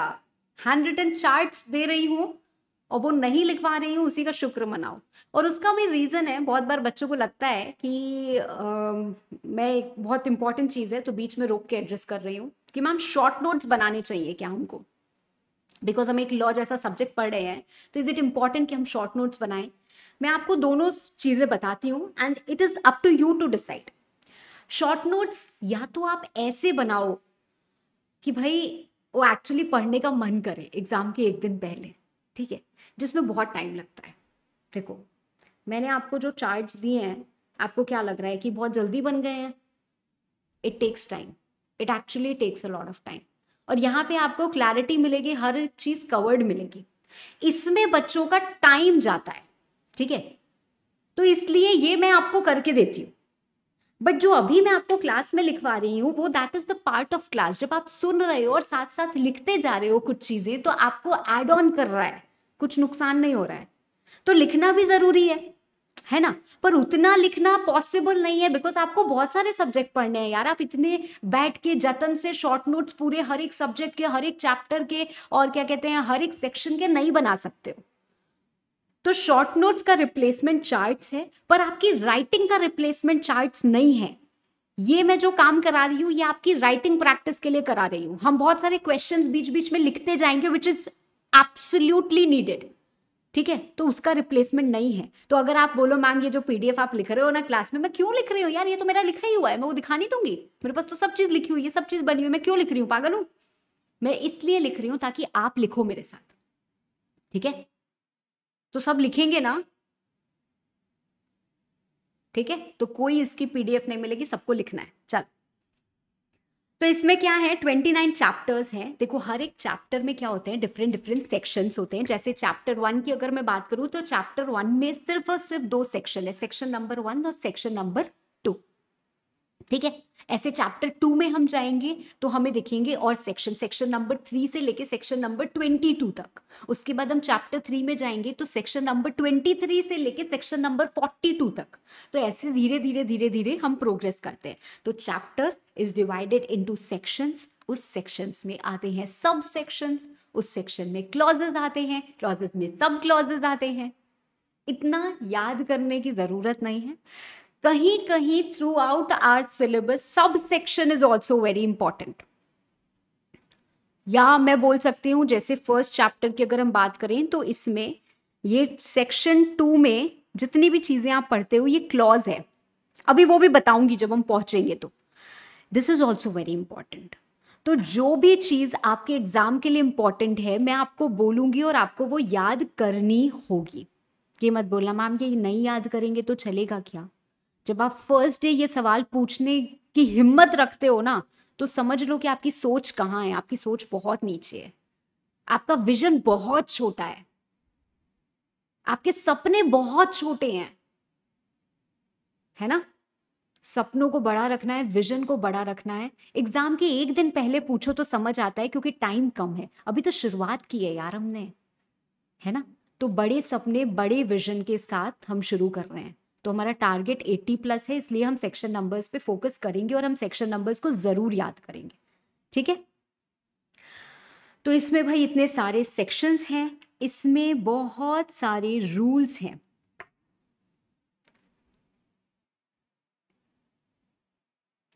As prescribed by MCA और इसमें सेवन शेड्यूल्स हैं।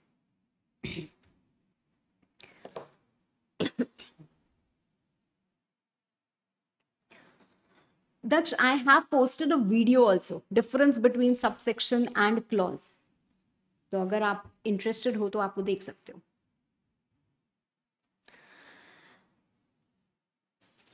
ठीक है? अच्छा। मैम, ये रूल्स क्यों हैं? और ये रूल्स क्या करते हैं? सेक्शन टू क्लॉज 85 किसी ने सुना है? स्मॉल कंपनी स्मॉल कंपनी काफ़ी चर्चा में रही है इन द रीसेंट पास्ट क्यों? Fifty lakhs two crore two crore twenty crore, four crore, forty crore.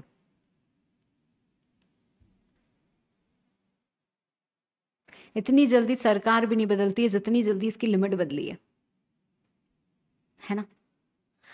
अब सोचो, ये एक्ट एक्ट को जैसे पास करने के लिए लोकसभा, राज्यसभा और प्रेसिडेंट। है ना? बिल लाने के लिए ऐसा होता है ना पूरा का पूरा प्रोसीजर वैसे ही जब एक्ट में चेंज लाना होता है, बदलाव लाना होता है तो एक अमेंडमेंट एक्ट को पास करना पड़ता है। अमेंडमेंट एक्ट मतलब it goes through the same process एक चेंज लाने के लिए it goes through the same process उतना ही समय लगेगा किसी को पसंद आया, किसी को नहीं पसंद आया। भाई, सरकार उसकी है, हम उसकी बात क्यों माने? आपस में गवर्नमेंट फाइट कर रही है। तो एक छोटी सी चीज़ को भी बदलने में क्या होता है? बड़ी दिक्कत हो जाती है।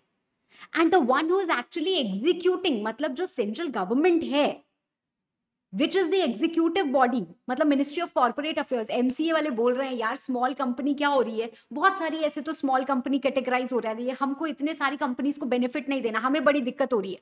हम चाह रहे हैं कि ये हो, क्योंकि काम तो वही कर रहे हैं ना ग्राउंड लेवल पे उन्हीं को पता है। वो जो लेजिस्लेटिव बॉडी बैठी है, उनको तो कुछ नहीं पता है। एग्जीक्यूटिव वाले को पता है चीज़ें। तो ये बोल रहे हैं, यार, इसको चेंज करो और वहाँ पे वो मान नहीं रहे हैं। तो बहुत दिक्कत होती है।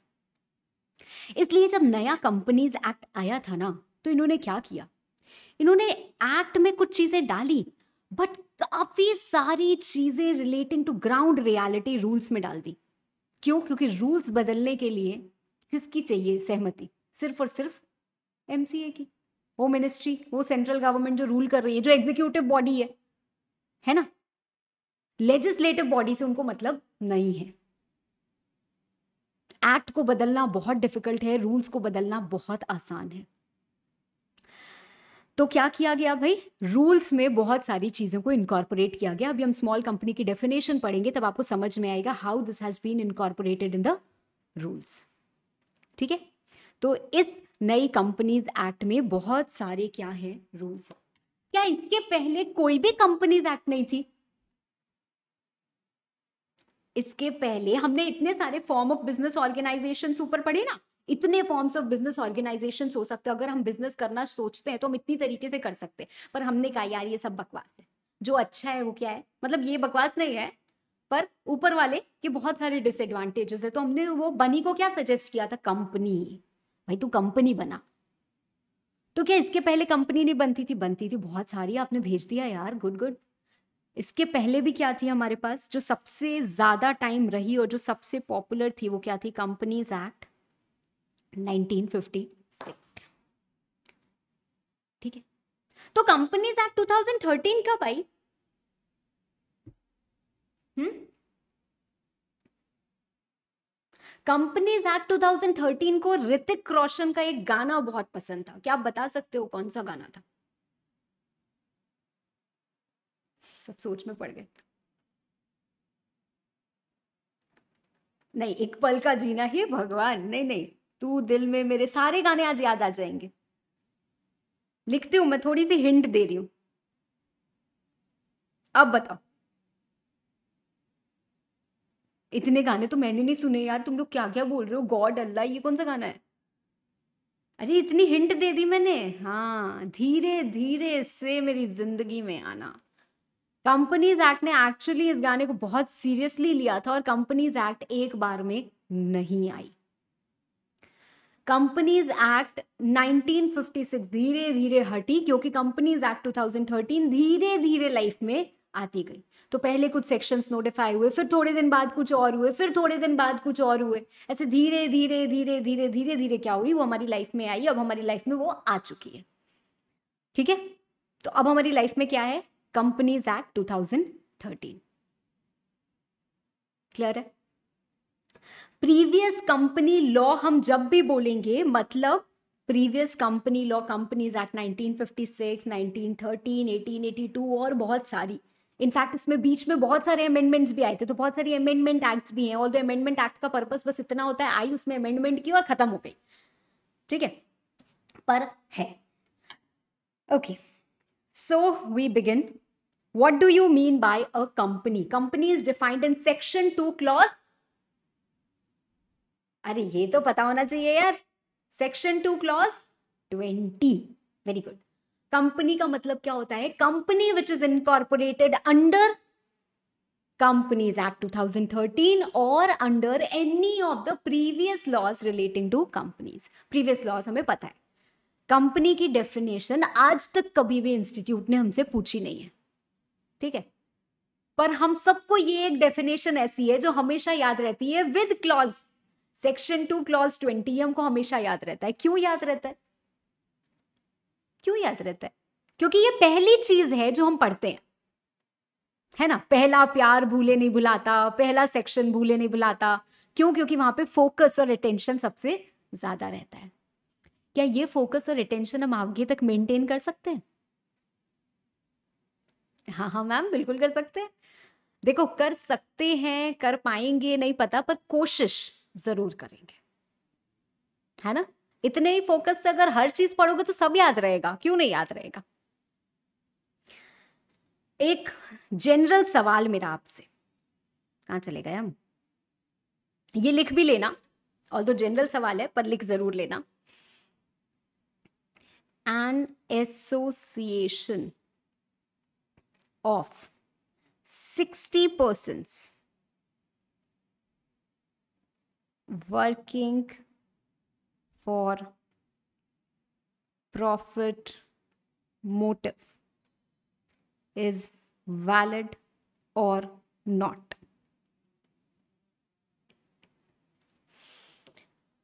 बताओ। पहले लिखो और उसके बाद बताओ। सोचो, ये आपको पता होना चाहिए। मैं कुछ ऐसा नहीं पूछ रही हूँ जो आपको नहीं पता होना चाहिए।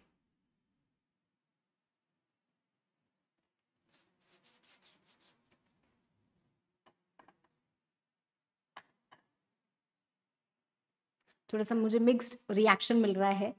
इसका टॉपिक या इसकी हेडिंग है इलीगल एसोसिएशन इसके ऊपर भी अगर आप लिखना चाहो तो ई e एस लिख के सर्कल कर दो। व्हाट इज़ ई एस कभी भी आप अपनी कॉपी खोलोगे, आपको ई e एस मिलेगा मतलब वो है एक्स्ट्रा शॉर्ट्स जैसे आपको बुक में मैंने बताया ना there are a lot of places जहाँ पे मैंने एक्स्ट्रा शॉर्ट्स ऑफ़ नॉलेज डाला है फॉर योर बेटर अंडरस्टैंडिंग ठीक है? तो आप जब कॉपी में भी लिखोगे, बाद में आप उसको गलत ना समझ लो या उसको अननेसरली एग्ज़ाम के समय उस पर टाइम ना दो, इसलिए उसको लिख लेना ई एस को या अलग कलर से लिखना हो तो वैसे लिख लेना, ठीक है? This is just extra short of shorts of knowledge ठीक है? इलीगल एसोसिएशन एक कंपनीज़ एक्ट का सेक्शन आता है, जिसमें बोला जाता है कि भाई, अगर 50 के ऊपर आपको कोई भी एसोसिएशन बनाना है तो वो क्या होना चाहिए? कंपनी की तरह रजिस्टर्ड होना चाहिए। ऐसे ही आप नहीं बना सकते हो। ऐसे ही आप नहीं बना सकते ऑफ़ कोर्स इसके एक्सेप्शन है। एक्सेप्शन क्या है? एच ऑल दो एच में पचास से ज़्यादा लोग होना है, बड़ा मुश्किल का काम बट अगर है तो बना सकते हो। ठीक है?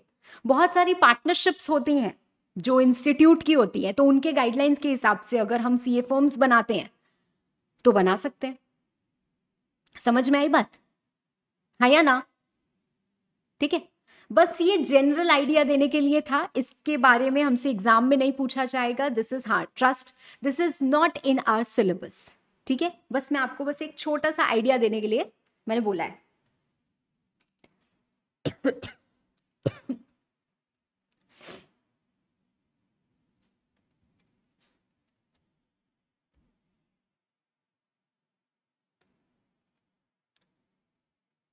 ठीक है?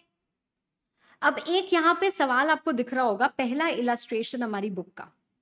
Reliance industries limited companies act I 2013 में, है ना? अभी हमने बहुत डिटेल्स नहीं पढ़े हैं but companies act I companies act 2013 2013 में आई। पर ये रिलायंस इंडस्ट्रीज़ लिमिटेड बनी थी 1973 में। तो क्या इसके ऊपर कंपनीज़ एक्ट लगेगी? हाँ या ना? इतना इजी सवाल यार, इस पे भी हाँ या ना नहीं आ रहा है। और बिल्कुल लगेगी हंड्रेड परसेंट लगेगी। क्यों लगेगी? क्योंकि कंपनी की डेफिनेशन में क्या लिखा है? कंपनी के डेफिनेशन में लिखा है कि आप इस एक्ट के अंदर बनी हो या प्रीवियस कंपनी लॉ कहीं पे भी बनी हो, आपके ऊपर कंपनीज़ एक्ट लगेगी। आपको इस कंपनीज़ एक्ट के तहत कंपनी माना जाएगा। तो रिलायंस इंडस्ट्रीज़ लिमिटेड आप जब 1973 में बनी थी तो आप जिस भी कंपनीज़ एक्ट के तहत बनी थी, आपको कंपनीज़ एक्ट 2013 में भी कंपनी माना जाएगा। और आपके ऊपर कंपनीज़ एक्ट लगेगी। हंड्रेड परसेंट लगेगी। ठीक है? दूसरा, एक और दिया है। सिमिलर क्वेश्चन है, एकदम similar ABC limited was incorporated on first January 1912 under the companies act 1882 क्या कंपनीज़ एक्ट लगेगी? हाँ मैम ठीक है सब बच्चों जैसा सवाल पूछ रहा है? जैसे बच्चों जैसा सवाल एग्ज़ाम में आएगा भी नहीं, पर पता तो होना चाहिए ना। क्लियर है? इतनी बातें क्लियर है सबको? अभी तक हमने क्या क्या पढ़ा? अभी हमने सबसे पहले अपने कोर्स स्ट्रक्चर को देखा था। The first thing that we saw was our course structure है ना? कि हमारे इंस्टीट्यूट में हमें कितनी चीज़ें पढ़नी है। उसके बाद हमने क्या देखा कि लॉ क्या होता है? लॉ की ज़रूरत क्या होती है? लॉ बनता कैसे है? एक सेंट्रल एक्ट कैसे बनती है? है ना? उसके बाद हमने एक सेंट्रल एक्ट कमेंस की है which is companies act 2013 companies act 2013 क्यों आई है? कंपनी जो एक फॉर्म ऑफ़ बिज़नेस ऑर्गेनाइजेशन होता है, अगर उसको आप रन करते हो तो एक यूनिफॉर्म तरीके से उस कंपनी को चलाया जाए, उसके रिस्पेक्ट में लॉज को लेके आती है।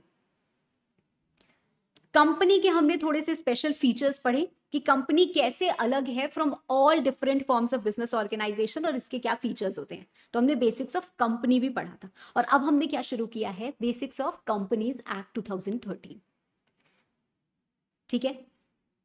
चलो। अब आते हैं शुरुआत से। Because we are starting with the chapter we are starting actually with the chapter chapter one preliminary ठीक है? हमारे कोर्स uh, का भी पहला चैप्टर और अगर हम कंपनीज़ एक्ट की बात करें तो उसका भी पहला chapter let me actually take you through दिख रहा है सबको? ये क्या है? आगे आने वाले कुछ दिनों के लिए ये हमारी लाइफलाइन है in law classes ministry of corporate affairs MCA की website which is very very very important ठीक है? आप जब फ्यूचर में प्रोफेशनल बनोगे the good part is that M C A does not restrict ऐसा नहीं है कि सी ए सी एस प्रोफेशनल्स जो हैं, वही ये काम कर सकते हैं. ये एक बहुत अच्छी अपॉर्चुनिटी होती है even when you go into practice ठीक है? तो अगर आप एक प्रैक्टिस में जाना चाहते हो तो ये आरओसी रिलेटेड वर्क जो होता है it can fetch you good remuneration ठीक है? तो ये आपके प्रोफेशनल जर्नी में भी बहुत हेल्प कर सकता है। ये हमारी एमसीए की वेबसाइट है, हमारी कंपनीज़ एक्ट देखो, खुल जाए तो because half of the time this doesn't work ऐसा मत सोचना कि मेरा नेट नहीं चल रहा है, मैं क्लास ले रही हूँ लाइव देखो, नहीं खुलेगी तो नहीं खुलेगी। अरे, खुल जाए यार, इतनी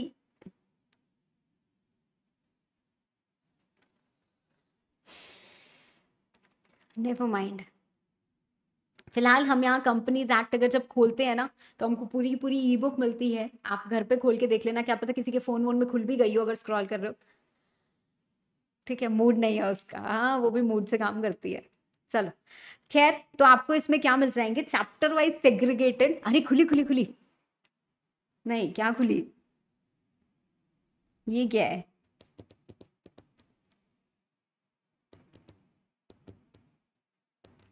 चलो, मैं तब तक पानी पी लेती हूँ, देख लेती हूँ, अगर खुल जाएगी तो ठीक है, और नहीं तो फिर हम आगे बढ़ेंगे।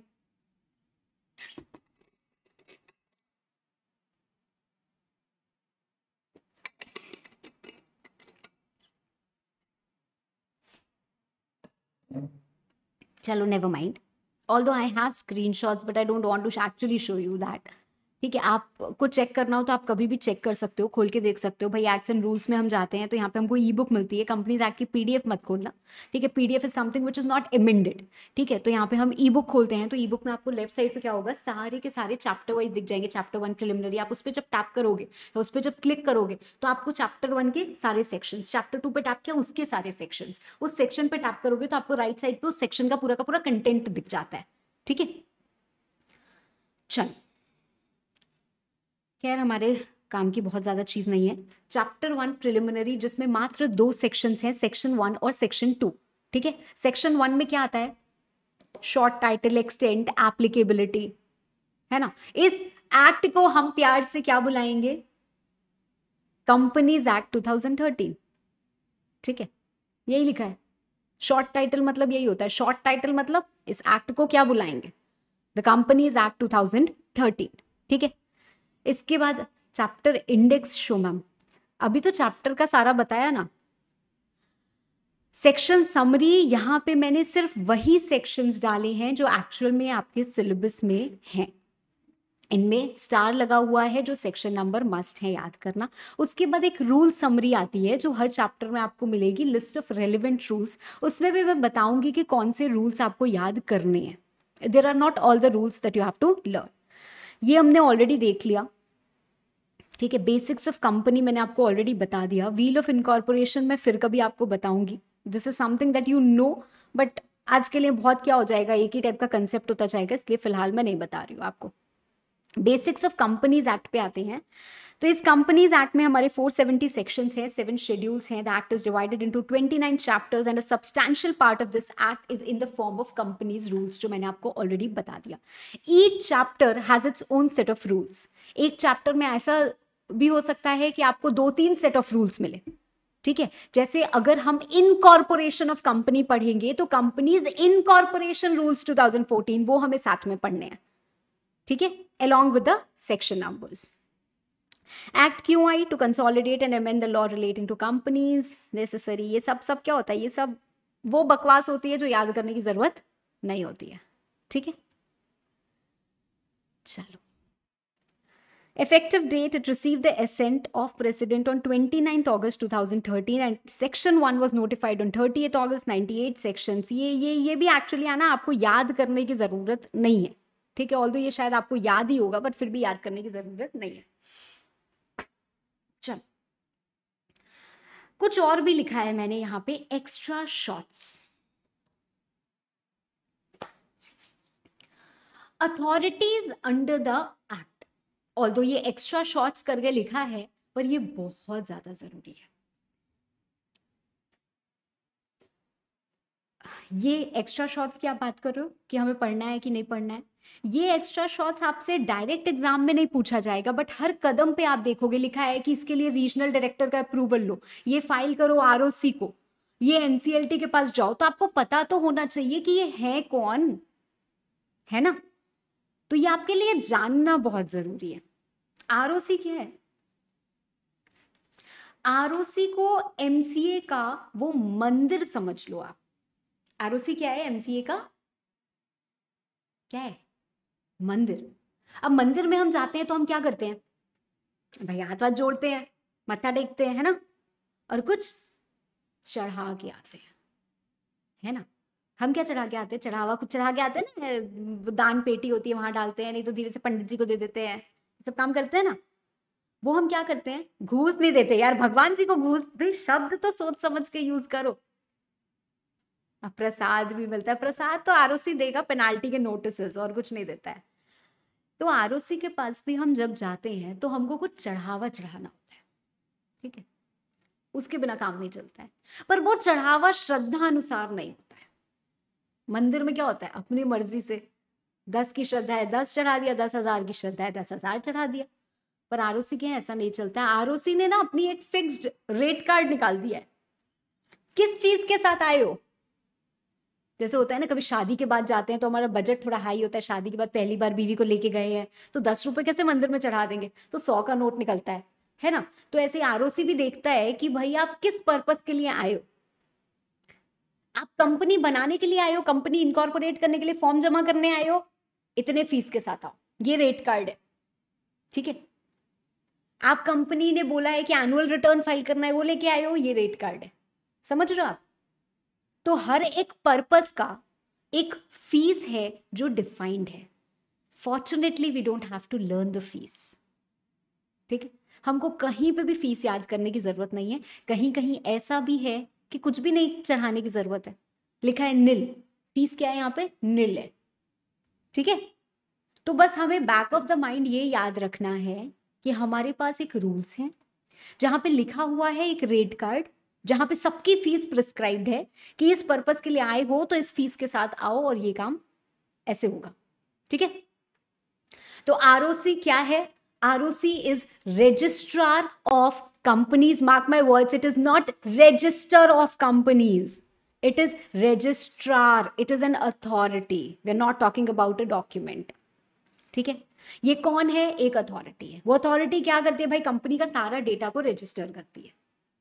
नई कंपनी बनानी है, उसके पास जाओ। अब आइडियली होना क्या चाहिए? अगर हम ऑफलाइन सेंटर्स की बात करें तो जगह जगह रजिस्ट्रार ऑफ़ कंपनीज़ के ऑफ़िस होने चाहिए। पूरे देश को आप अलग अलग जुरिस्डिक्शन में डिवाइड करते हो, जैसे इनकम टैक्स होता है इनकम टैक्स में अलग अलग जुरिस्डिक्शन होते हैं कि नहीं होते हैं? आईटीओ वार्ड रेंज सब होता है। तो वैसे यहाँ पे भी होना चाहिए। बट क्योंकि सारी चीज़ें ऑनलाइन चली गई हैं तो हमारे पास क्या है? एक एमसीए पोर्टल हम सारी फाइलिंग वहीं करते हैं। अब वो हमारे रिस्पेक्टिव आर के पास वो डॉक्यूमेंट्स चले जाते हैं, क्योंकि अल्टीमेटली इस कंप्यूटर के पीछे कोई इंसान बैठा है। उस इंसान के पास डॉक्यूमेंट्स पहुँच रहे हैं, वो डॉक्यूमेंट्स को रीड कर रहा है चेक कर रहा है of course using the A I tools और उसके बाद वो क्या हो रहे हैं रिकॉर्ड में दर्ज हो रहे हैं, है ना? है या ना? तो रजिस्ट्रार ऑफ़ कंपनीज़ क्या होते हैं, हर स्टेट्स में यूटीज में अलग अलग हमारी आ, किसी को पता है क्या? देर आर टू स्टेट्स जिसमें एक से ज़्यादा आरओसी है।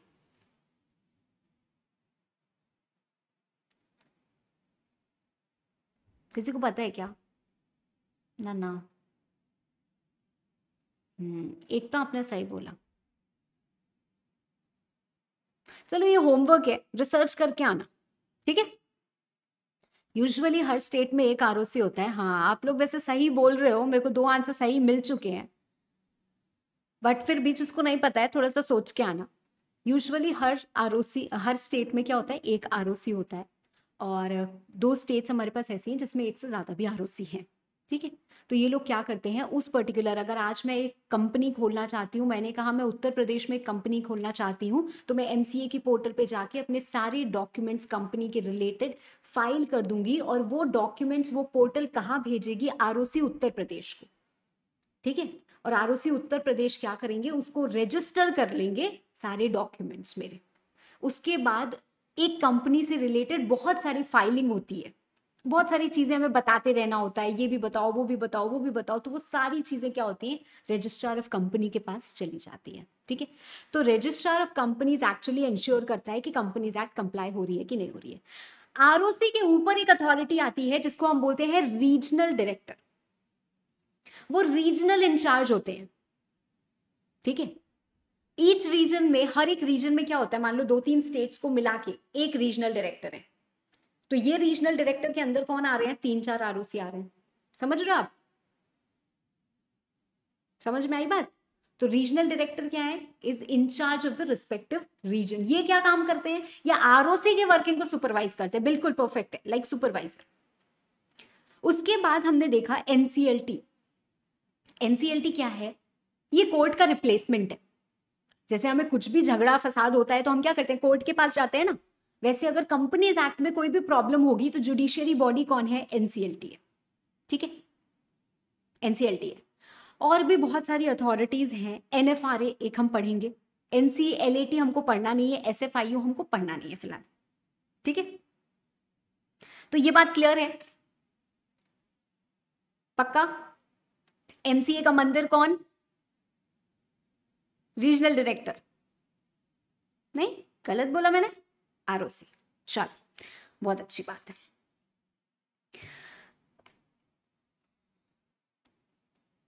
okay now here we come to section number 1 companies act extends to whole of india.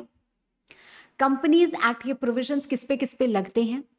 Companies जो इस एक्ट में इनकॉर्पोरेट हुई हैं या प्रीवियस कंपनी लॉ इसका मतलब जो सेक्शन टू क्लॉज ट्वेंटी की डेफिनेशन में कवर हो रही हैं, वही चीज़ तो लिखी है है ना? हाँ very good I get your answers उसके बाद आती है तीन special type of companies insurance banking और इलेक्ट्रिसिटी कंपनीज़ ठीक है? सबको पता है, ये बहुत बेसिक है, ये हम पढ़ चुके हैं, है ना? तो इसमें प्रॉब्लम क्या होती है?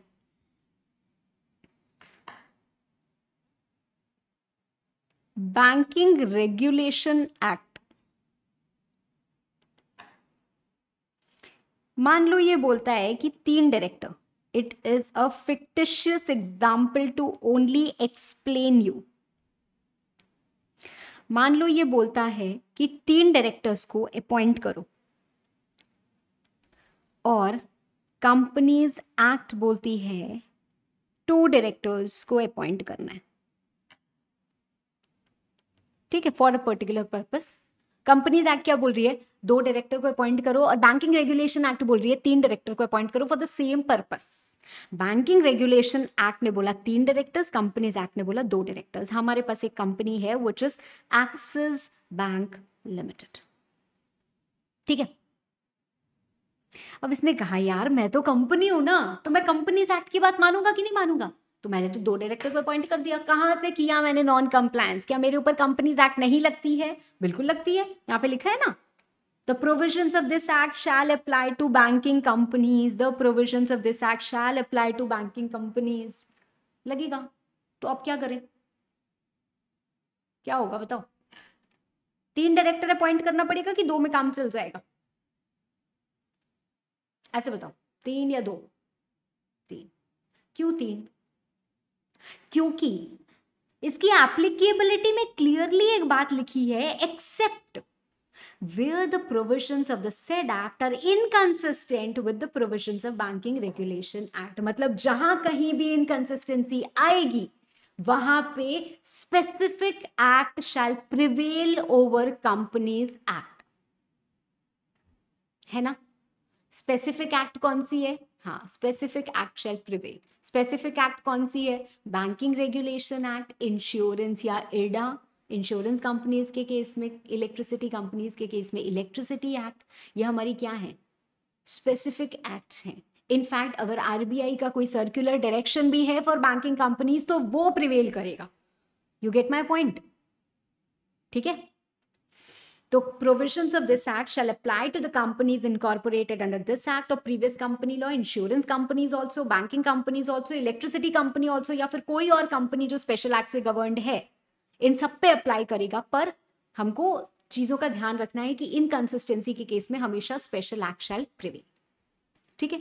इसके अलावा इसके अलावा such body corporate as CG में नोटिफाई सवाल ये उठता है कि मैम ये बॉडी कॉरपोरेट क्या चीज़ है? बॉडी, कॉरपोरेट और कंपनी। क्या ये सेम सेम है? क्या ये अलग अलग है? मैं यहाँ पे क्या इज़ इक्वल टू लगाऊँ? या ऐसे?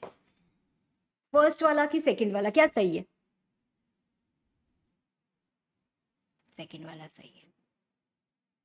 Body corporate is not as good as company क्या मैं ये बोल सकती हूँ कि all companies are body corporate but all body corporates are not companies क्या ये सही है सही है बिल्कुल सही है नॉट वाइस वर्सा हाँ तो वही चीज़ हो गई ना। ये बात बिल्कुल सही है कि हर एक कंपनी बॉडी कॉरपोरेट होती है। क्यों? क्योंकि बॉडी कॉरपोरेट हम एक ऐसी एंटिटी को बोलते हैं जिसमें कुछ फीचर्स होते हैं। ज़रूरी नहीं है वो कंपनीज़ एक्ट में रजिस्टर्ड हो। कोई एंटिटी अगर कंपनीज़ एक्ट में रजिस्टर्ड होती है, हम सिर्फ़ तभी उसे एक कंपनी बोलेंगे under companies act all usually हम क्या बोलते हैं, यार एलआईसी एक कंपनी है। ऐसे बोल देते हैं ना, क्या वो सच में कंपनी है?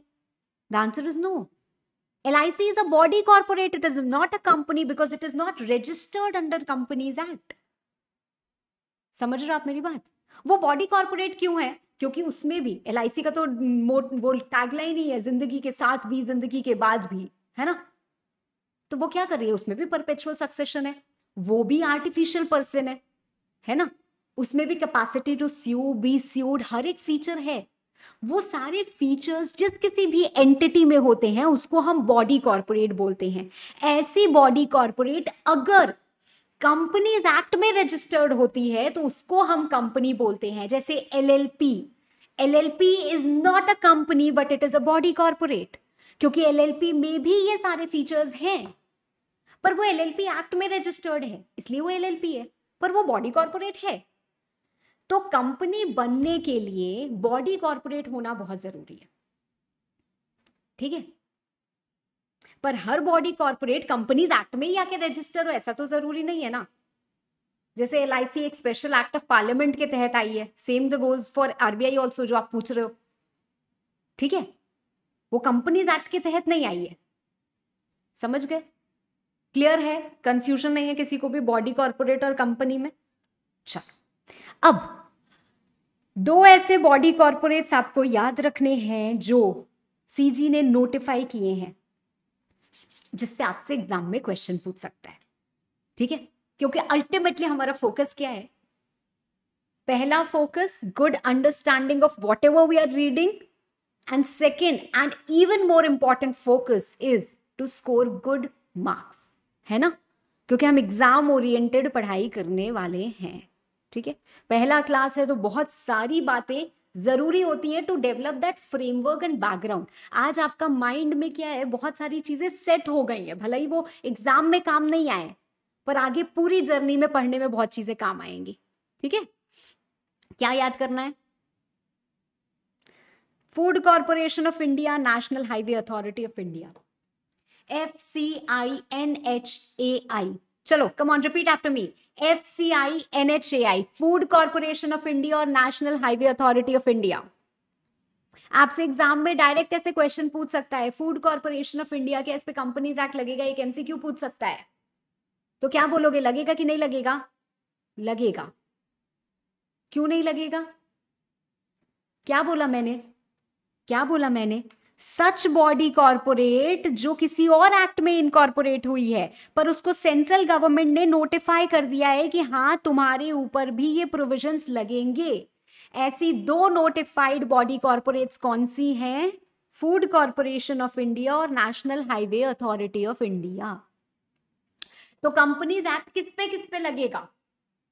हर कंपनी जो इस एक्ट में इनकॉर्पोरेटेड है insurance banking electricity such other body corporate which central government में नोटिफाई और company govern by special act कौन से को नोटिफाई किया है सीजी ने? Come on everyone repeat with me FCI and NHAI FCI का full form food corporation of India और एनएचएआई का full form national highways authority of India चलो, बहुत अच्छी बात है। Okay okay.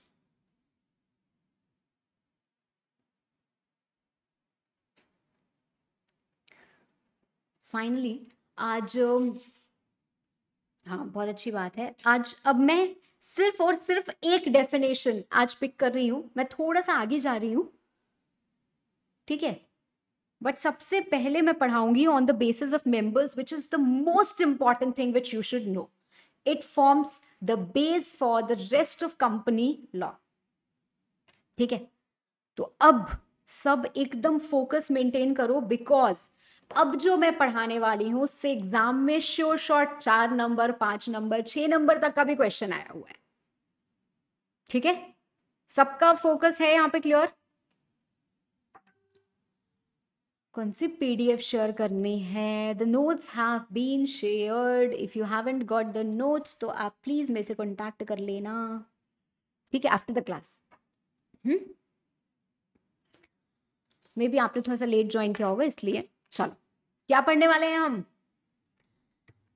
कौन कौन सी कंपनीज़ होती हैं on the basis of on the basis of numbers number के हिसाब से कौन कौन सी कंपनीज़ होती हैं? बड़ा ही इंटरेस्टिंग टॉपिक है।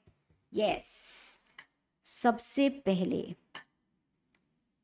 on the basis of numbers हमारे पास तीन तरीके की कंपनी होती है although everything is there in your notes also you'll find it ठीक है? यहाँ पे आपको मिल जाएगा, आपको चार्ट में वो सारी चीज़ें भी मिल जाएँगी बट फिर भी, जितनी चीज़ें मैं लिखती हूँ या लिखवाती हूँ, वो लिखते जाया करो। It is only going to help you private public and OPC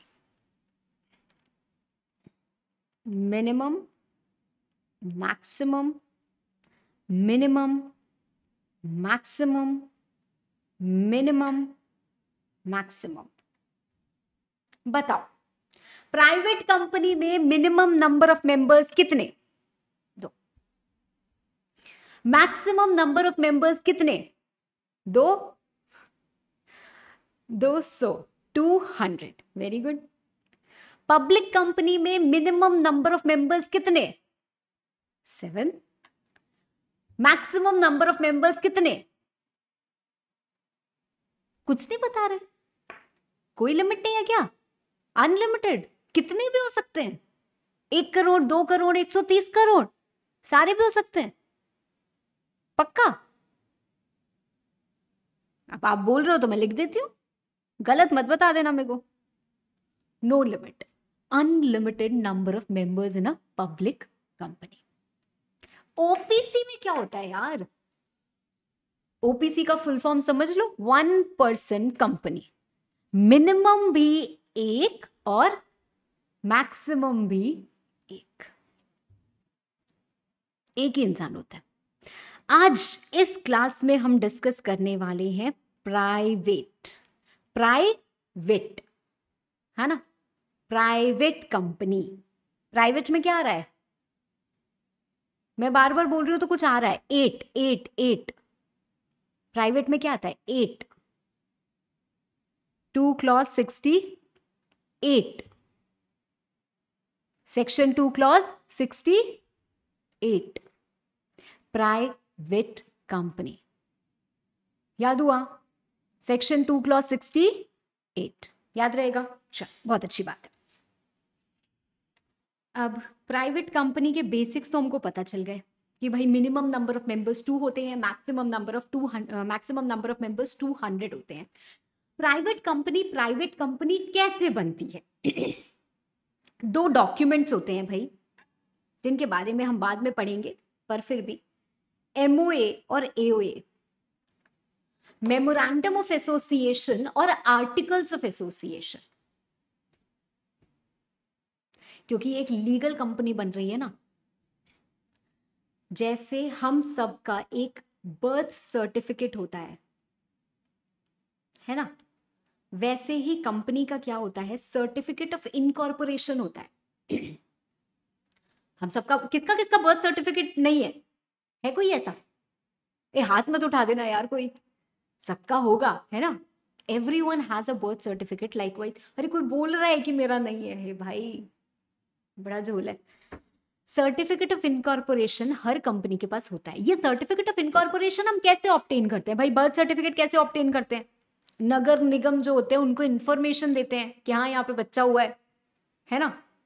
तो वैसे ही हम कंपनी जब रजिस्टर करते हैं तो आरओसी हमको सर्टिफिकेट ऑफ़ इनकॉर्पोरेशन देती है। वो रजिस्ट्रेशन करने के लिए हमें भी कुछ डॉक्यूमेंट्स देने पड़ते हैं। जानकारी देनी पड़ती है। जैसे बर्थ सर्टिफिकेट के लिए जानकारी देनी होती है ना? मेल है फीमेल है मदर का नाम फादर का नाम। वैसे ही कंपनी भी बनाने के लिए हमें कुछ इन्फॉर्मेशन देनी होती है। ये एमओए चार्टर बोलो या कंपनी के बारे में इंफॉर्मेशन जो देता है कंपनी में कौन है, कितने लोग हैं, कहाँ की कंपनी है, ये सारी बेसिक इंफॉर्मेशन हमको देता है मेमोरेंडम और आर्टिकल्स ऑफ़ एसोसिएशन क्या करता है, वो भी हमको कुछ इंफॉर्मेशन देता है कि हम इसको चलाएँगे कैसे? इंटरनल रूल्स ये क्या देता है? इंटरनल रूल्स बताता है हमें ऑफ़ अ कंपनी फ़िलहाल इतनी नॉलेज काफ़ी है। ठीक? अब एक कंपनी को अगर प्राइवेट कंपनी बनाना है तो section two clause sixty eight बोलता है कि आर्टिकल्स ऑफ़ एसोसिएशन में तीन चीज़ डालो। प्रोहिबिशन डालो। रिस्ट्रिक्शन डालो। और लिमिटेशन डालो। क्या तीन चीज़ डालो? प्रोहिबिशन डालो रिस्ट्रिक्शन डालो और लिमिटेशन डालो। प्रोहिबिशन किस चीज़ का डाले? मैं आपसे आज थोड़ा ज़्यादा सवाल पूछ रही हूँ। उसका रीजन ये है कि ये बेसिक चीज़ें हैं जो आपको पता है राइट? ऑफकोर्स जब हम नई चीज़ें पढ़ेंगे तो मैं आपसे सवाल कम पूछूँगी बिकॉज़ मैं आपको बताऊँगी ज़्यादा। प्रोहिबिशन सबसे पहला सवाल है मेरा prohibition prohibition is not on transferring the shares prohibition is on inviting public to subscribe to the shares prohibition on inviting public to subscribe to shares. मतलब क्या है? मतलब एक प्राइवेट कंपनी में पब्लिक आके शेयर्स को सब्सक्राइब नहीं कर सकते हैं। हम कभी भी पब्लिक को नहीं बोल सकते हैं कि आप आओ और हमारी कंपनी के शेयर्स ले लो। जिस दिन हमने पब्लिक को बोला, उस दिन हमें उस कंपनी को पब्लिक कंपनी बनाना पड़ेगा, तभी हम बोल सकते हैं। क्या आपको पता है? लेके चलती हूँ, तब आपको शायद समझ में आएगा। फ्लिपकार्ट पता है ना? किसको किसको फ्लिपकार्ट पता है यहाँ पे? कोई ऐसा है जिसको नहीं पता है? देखो, बहुत सारे लोग अभी भी हाथ नहीं उठा रहे। क्या फ्लिपकार्ट नहीं पता है? बस हम तो हाथ उठाते नहीं है, मैम, हम इतने आलसी है ना कि। ओके फ्लिपकार्ट इंडिया फ़िलहाल मैं अभी एम और फॉरेन और ये सब्सिडियरी होल्डिंग इन सब में नहीं जाने वाले, आज ऑर्डर आने वाला है फ़िलहाल बस इतना समझते हैं Flipkart India private limited is a private company ठीक है? विश्वास होता है कि इतनी प्राइवेट कंपनी इतनी ह्यूज कवरेज लेके बैठी है। हमें तो लगता है प्राइवेट कंपनी मतलब छोटी कंपनी पब्लिक कंपनी मतलब बड़ी कंपनी है ना? ये थोड़ा सा माइंडसेट होता है कि नहीं होता है? क्या प्राइवेट कंपनी बड़ी नहीं हो सकती है? बिल्कुल हो सकती है। बस उसको ध्यान क्या रखना है कि 200 से ज़्यादा मेंबर्स आप नहीं रख सकते हो और आप कभी हमारे पास नहीं आ सकते हो। जनता के पास आप नहीं जा सकते। हम आए दिन सुनते हैं कि कोई कंपनी आईपीओ लेके आई है। आईपीओ क्या होता है? इनिशियल पब्लिक ऑफ़र मैंने एक कंपनी खोली मान लो, जो हमने स्टार्ट किया था, मैंने और आदित्य ने मिलके एक कंपनी खोली। हमारी कंपनी में बहुत अच्छा बिज़नेस हुआ। बहुत बड़ी बन गई हमारी कंपनी अभी जब मैं आपको पब्लिक ऑफ़र पढ़ाऊँगी ना, जब हम उस पर जाएँगे तो मैं इनफैक्ट आपको अभिषेक बच्चन की एक क्लिप दिखाऊँगी। कौन सी मूवी की है, शायद आप सोच सकते हो, अगर आपने वो मूवी देखी हो तो। गुरु मूवी एक है। I show you that right जहाँ पे वो बोलते हैं कि भाई, पैसे चाहिए कंपनी को बड़ा करने के लिए। अच्छा पैसे चाहिए कंपनी को बड़ा करने के लिए तो पैसे कहाँ से आएँगे? पैसे हम बैंक से जाके ले सकते हैं। बैंक वाले नहीं देंगे तो कितना देंगे? पैसे हम जाके जनता से भी मांग सकते हैं। पर एक प्राइवेट कंपनी नहीं मांग सकती है। प्राइवेट कंपनी में क्या है? कंप्लीट प्रोहिबिशन है कि कभी भी आप पब्लिक को जाके नहीं बोल सकते हो कि हम पब्लिक ऑफ़र लाए हैं, लो लो, सौ रुपए में हमारा शेयर ले लो। नहीं, never. It is completely prohibited. ऐसा नहीं है कि रिस्ट्रिक्शन है प्रोहिबिशन अब यहाँ पे ये कीवर्ड होता है जो आपको ध्यान रखना है। अगर ये एग्ज़ाम में नहीं लिखोगे तो कभी नंबर नहीं मिलेंगे। प्रोहिबिशन की जगह अगर कोई और वर्ड लिखा तो नंबर नहीं मिलेंगे। समझ में आई बात? समझ में आई बात? Private company means a company which by its articles which by its articles prohibit any invitation to public to subscribe for any securities of the company जब मैंने बोला securities तो securities का मतलब shares भी हो सकता है debentures भी हो सकता है bonds likewise कोई भी securities हो सकती है ठीक है हमारे लेवल के लिए शेयर्स डिबेंचर्स ये दो चीज़ इंपॉर्टेंट होती है ठीक है समझ में आई बात ये पॉइंट क्लियर है Private company means a company which by its articles prohibit any invitation to public to subscribe for any securities of the company दूसरा point restrict the right to transfer its shares इसका मतलब क्या है restriction on transferability of shares.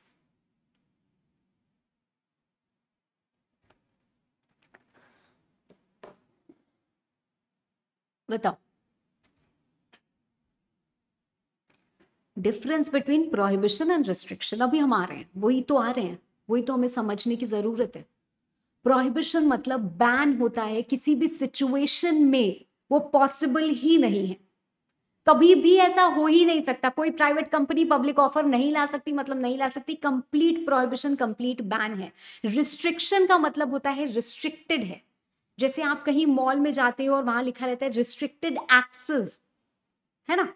मतलब क्या है, उस area में हम नहीं जा सकते, कोई जा सकता है। समझ रहे हो आप? सब्जेक्ट टू सर्टन कंडीशंस आप अगर स्टाफ हो तो आप वहाँ जा सकते हो। बट प्रोहिबिशन है ऑन फोटोग्राफी मतलब हर किसी के लिए प्रोहिबिटेड है।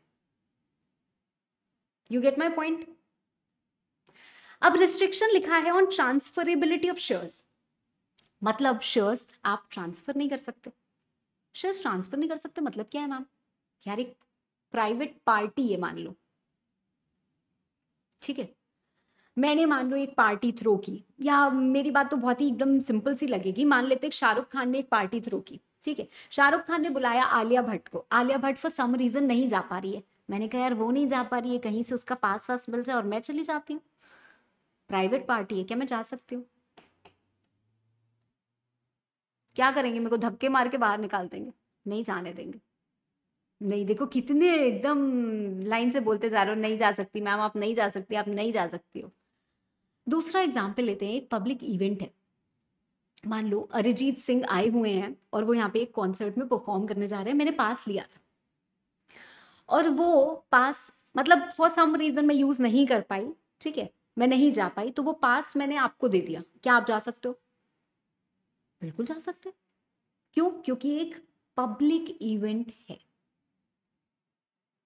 मतलब प्राइवेट कंपनी में वही एंटर कर पाएगा जिसकी, जो एंटर करना जिसको परमिटेड हो। दो friends A and B they both have incorporated a company अब ए की बन गई है गर्लफ्रेंड ठीक है? उसने कहा कि यार, इसको भी शेयर्स दो। तो क्या सोचेगा, यार भाई भाई ने कंपनी बनाई, अब लड़की आगे तोड़ेगी। हो सकता है दे वुड वांट हो सकता है दे वुड नॉट वांट है ना? ए ने बोला, मैं तो अपने सारे शेयर्स इसको दे दूँगा। तो क्या वो ऐसा कर सकता है? क्या वो ऐसा कर सकता है? द आंसर इज़ प्रोहिबिशन नहीं है। ऐसा नहीं है कि वो एकदम नहीं कर सकता है। कि शेयर्स ट्रांसफ़र ही नहीं होंगे, जिसके शेयर्स हैं उसी के पास रहेंगे। दो लोग मेंबर बने, दो लोगों ने कंपनी खोली, इसने कहा, दस शेयर मेरे, दस शेयर तेरे, बीस शेयर से हमने कंपनी खोली है। अब ये दस शेयर मैं अपने पास ही रखूँगा लाइफ लॉन्ग और दस शेयर तुम अपने पास ही रखोगे। अरे किसी को कुछ हो गया तो? शेयर्स तो दूसरे के पास जाएँगे ना ट्रांसफ़र तो होंगे ही होंगे ना। और हो सकता है मैं अपनी मर्ज़ी से ट्रांसफ़र करना चाहूँ। तो पॉसिबिलिटी है बट पॉसिबिलिटी कैसे होगी? With the consent of B ठीक है? With the consent of what is written in articles तो कंडीशन लिखी रहती हैं। तो रिस्ट्रिक्शन होता है प्रोहिबिशन नहीं होता है। समझ में आई बात? हाँ या ना? सबको समझ में आई बात? तीसरी और सबसे इंपॉर्टेंट बात। तीसरी और सबसे इंपॉर्टेंट बात। Limitation on number of members limit कितनी है? 200 अब सवाल पूछूँगी, फटाफट से जवाब देते जाना। ठीक है?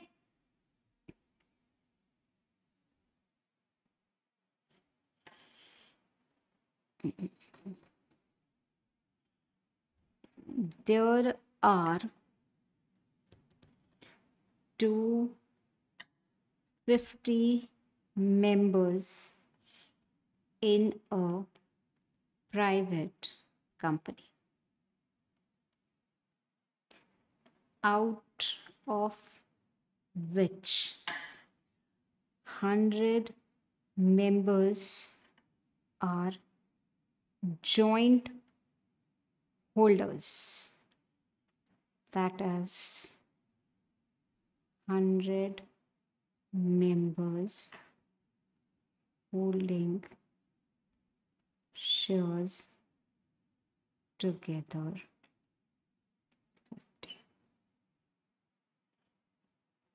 Left or other members 150 is the composition oblique limit valid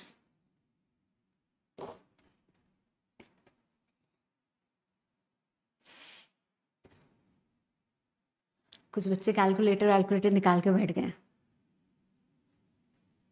चलो।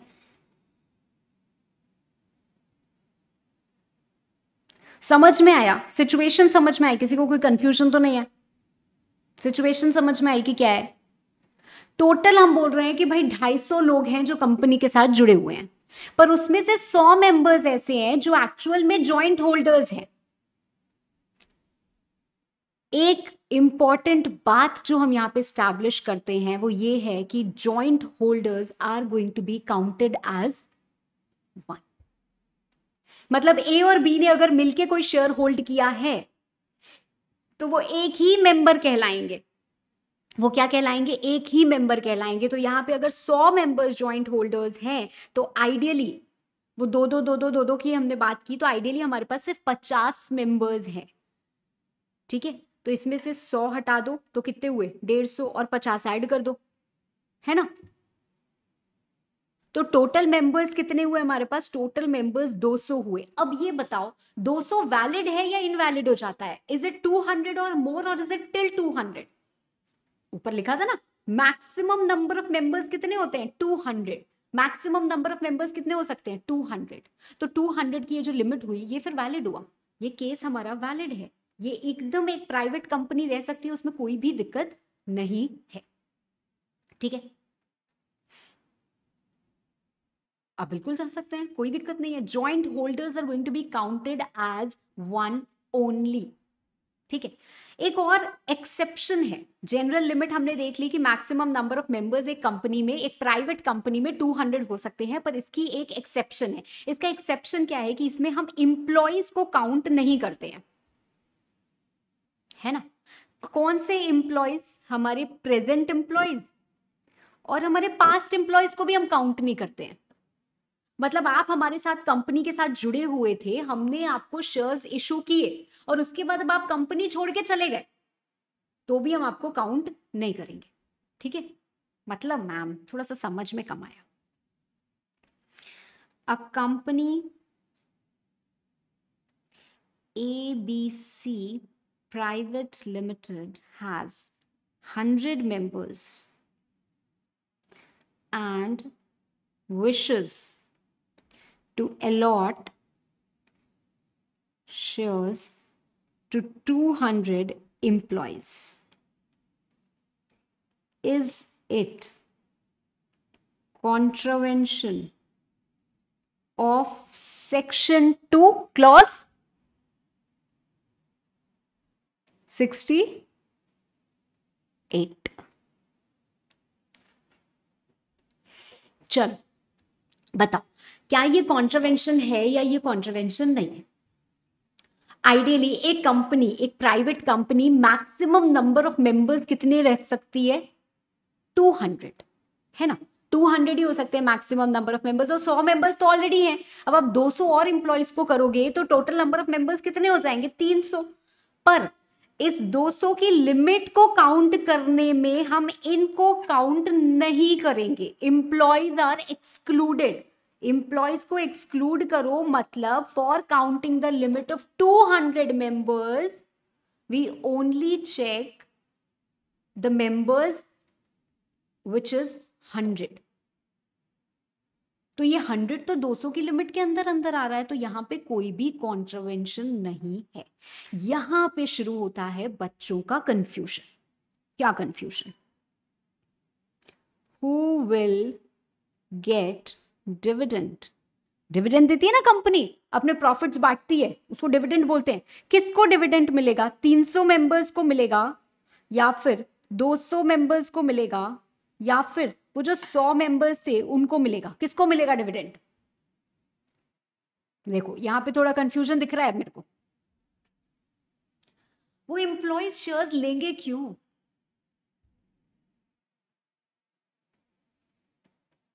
सबको डिविडेंड मिलेगा। दूसरा सवाल who will get right to vote right to vote at general meeting किसको मिलेगा? वोटिंग का अधिकार। 300 को मिलेगा 200 को मिलेगा या 100 को मिलेगा?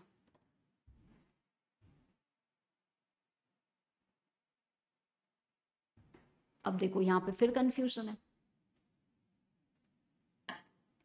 सबको मिलेगा। एम्प्लॉयज़ को शेयर्स मिले हैं मतलब वो कंपनी के मेंबर्स हैं।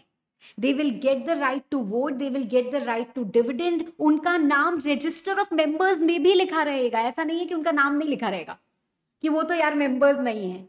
उनको सिर्फ़ और सिर्फ़ हम 200 की लिमिट में कंप्यूट नहीं करते हैं तो ये एक बेनिफिट दिया हुआ है प्राइवेट कंपनीज़ को, कि भाई प्राइवेट कंपनीज़ आप अपने एम्प्लॉयज़ को और इंसेंटिव देने के लिए किसी भी पर्पज के लिए अगर प्रमोट करना चाहते हो और आप उनको शेयर्स इशू करना चाहते हो तो आप करिए। आपके ऊपर हम ये रिस्ट्रिक्शन नहीं लगाएँगे कि आप 200 ही कर सकते हो। यार, हो सकता है आपने 100 एम्प्लॉयज़ रखे हुए हैं। तो फिर आप सारे एम्प्लॉयज़ को देना चाहते हो क्योंकि उनके अंदर हम इक्विटी पार्टिसिपेशन का इंसेंटिव देना चाहते हैं। समझ रहे आप? They are all known people this is not making public offer so this is an advantage which has been given to public private companies जितने भी एम्प्लॉयज़ होंगे, वो मेंबर्स कहलाएँगे या नहीं कहलाएँगे? हाँ या ना? हाँ या ना? बिल्कुल कहलाएँगे। समझ में आई बात? ठीक है तो ये बहुत कंफ्यूजन uh, होता है बच्चों के मन में। इसको प्लीज़ निकाल देना।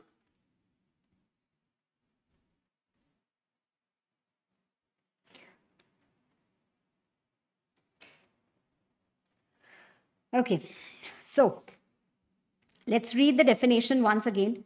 Private company means a company which, by its articles, restricts the right to transfer its shares, limits the number of members to 200, provided that where two or more persons hold the shares in the company jointly, they shall be treated as a single member persons who are in the employment of the company and persons who have been formerly in the employment of the company were members of the company while in that employment मतलब जब आप हमारे employ थे तब आप हमारे members थे और अब हमारा एम्प्लॉयमेंट खत्म हो गया अब आप हमारी कंपनी के एम्प्लॉय नहीं हो फिर भी आपने हमारी कंपनी के शेयर्स होल्ड किए हुए हैं तब भी we are not going to be included in the number of members ठीक है this is only that limit of 200 limits the number of members to 200 सिर्फ़ इस लिमिट को कंप्यूट करने के लिए ये एक्सेप्शन है।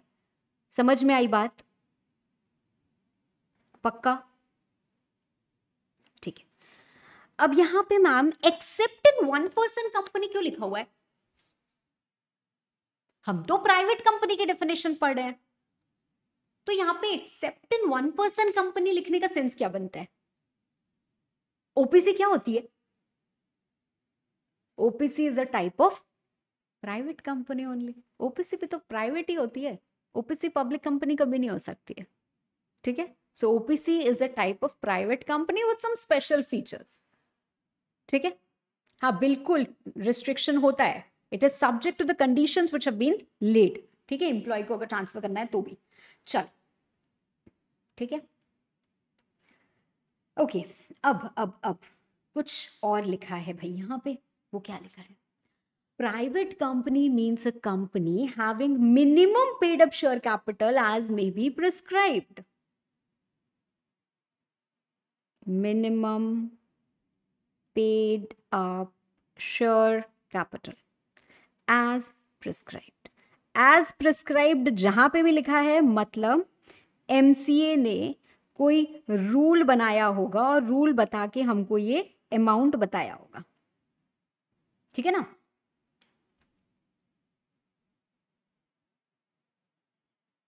नहीं नहीं ओपीसी में तो एक इंसान की लिमिट है। ओपीसी में 200 की लिमिट थोड़ी ना ओपीसी में तो मैक्सिमम नंबर ऑफ़ मेंबर भी वन ही है। तो ओपीसी में ये 200 की लिमिट नहीं लगेगी, इसीलिए वहाँ पे क्लैरिफिकेशन दिया है। ठीक है ना? हर private company apart from OPC में 200 की लिमिट है। ओपीसी में तो लिमिट एक ही है। मिनिमम भी एक मैक्सिमम भी एक। अब सवाल ये उठता है कि ये क्या है? पेड अप शेयर कैपिटल क्या होता है?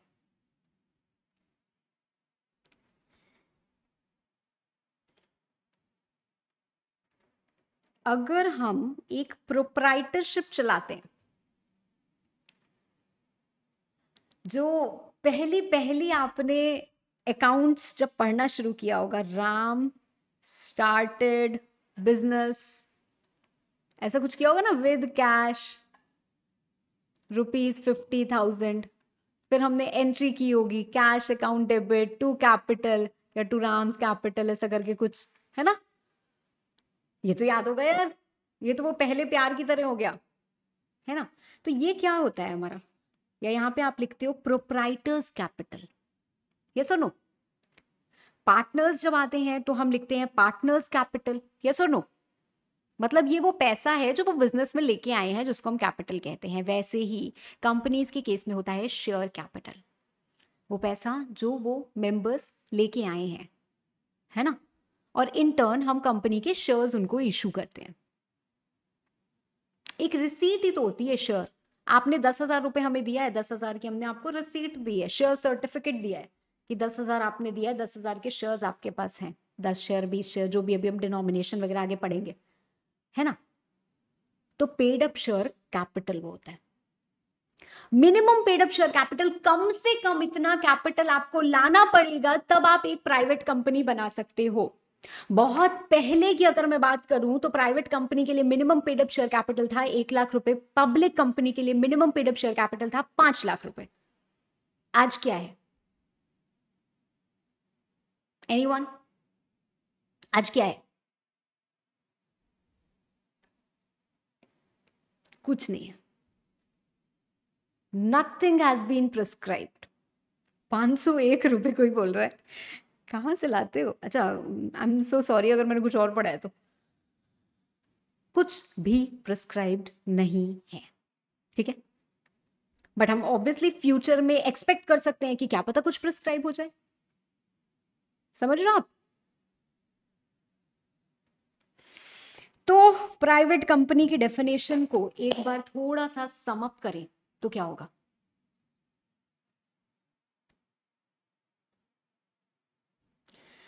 कंफ्यूजन कंफ्यूजन कंफ्यूजन एक क्वेश्चन आया है मेरे पास, मैं रीड करती हूँ। आप लोग बताओ मुझे। प्राइवेट कंपनी पब्लिक से शेयर्स नहीं सब्सक्राइब करवा सकती तो अपोलो टायर्स प्राइवेट लिमिटेड के शेयर्स मार्केट में ट्रेड कैसे हो रहे हैं? बताओ। कोई इसका आंसर दे सकता है मुझे?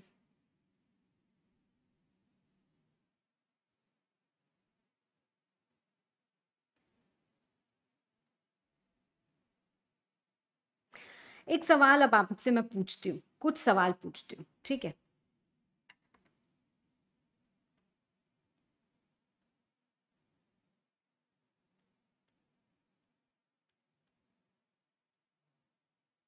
ये मेरा पहला सवाल और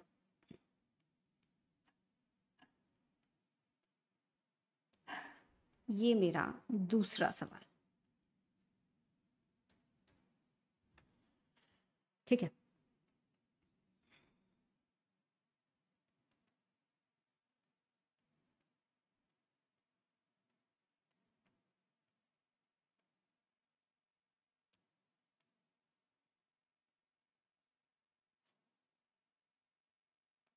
ये मेरा तीसरा सवाल।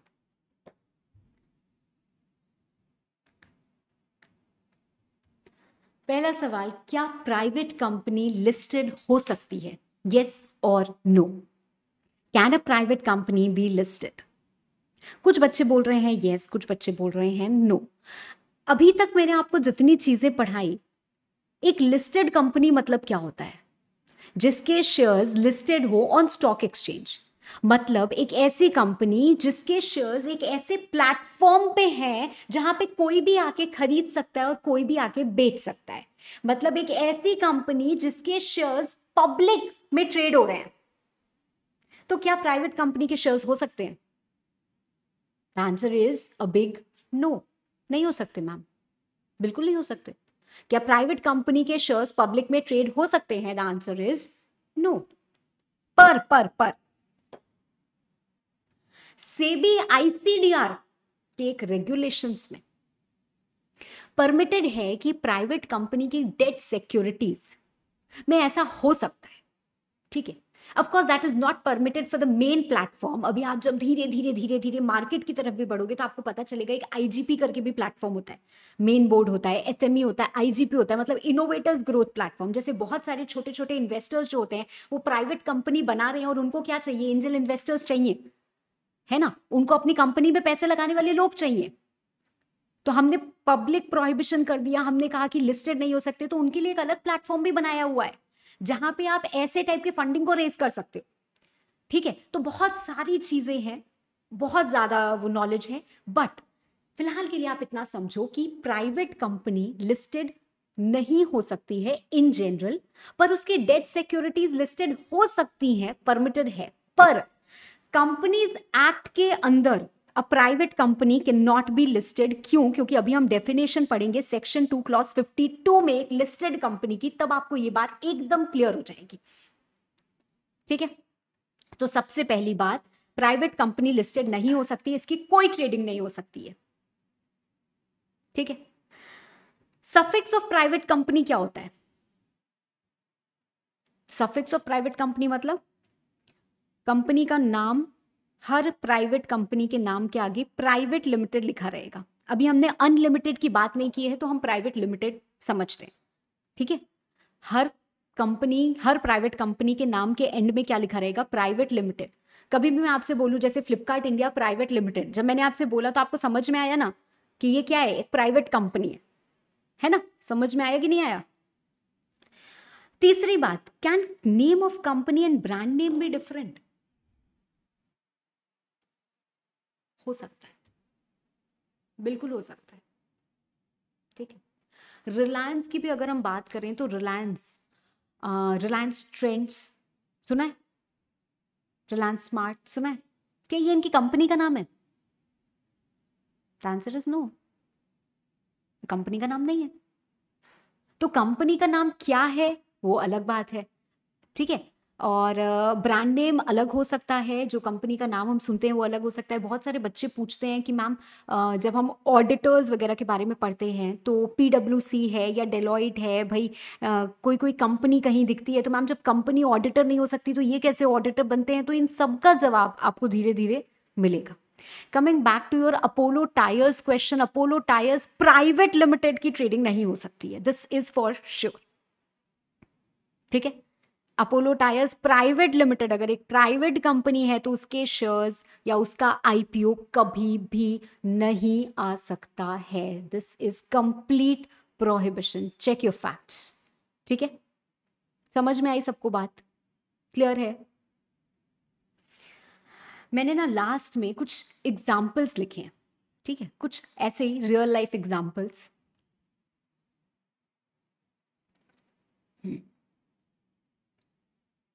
देखो रिलायंस इंडस्ट्रीज़ लिमिटेड हम सबको पता होता है। थोड़ा सा ऐसे रखती हूँ।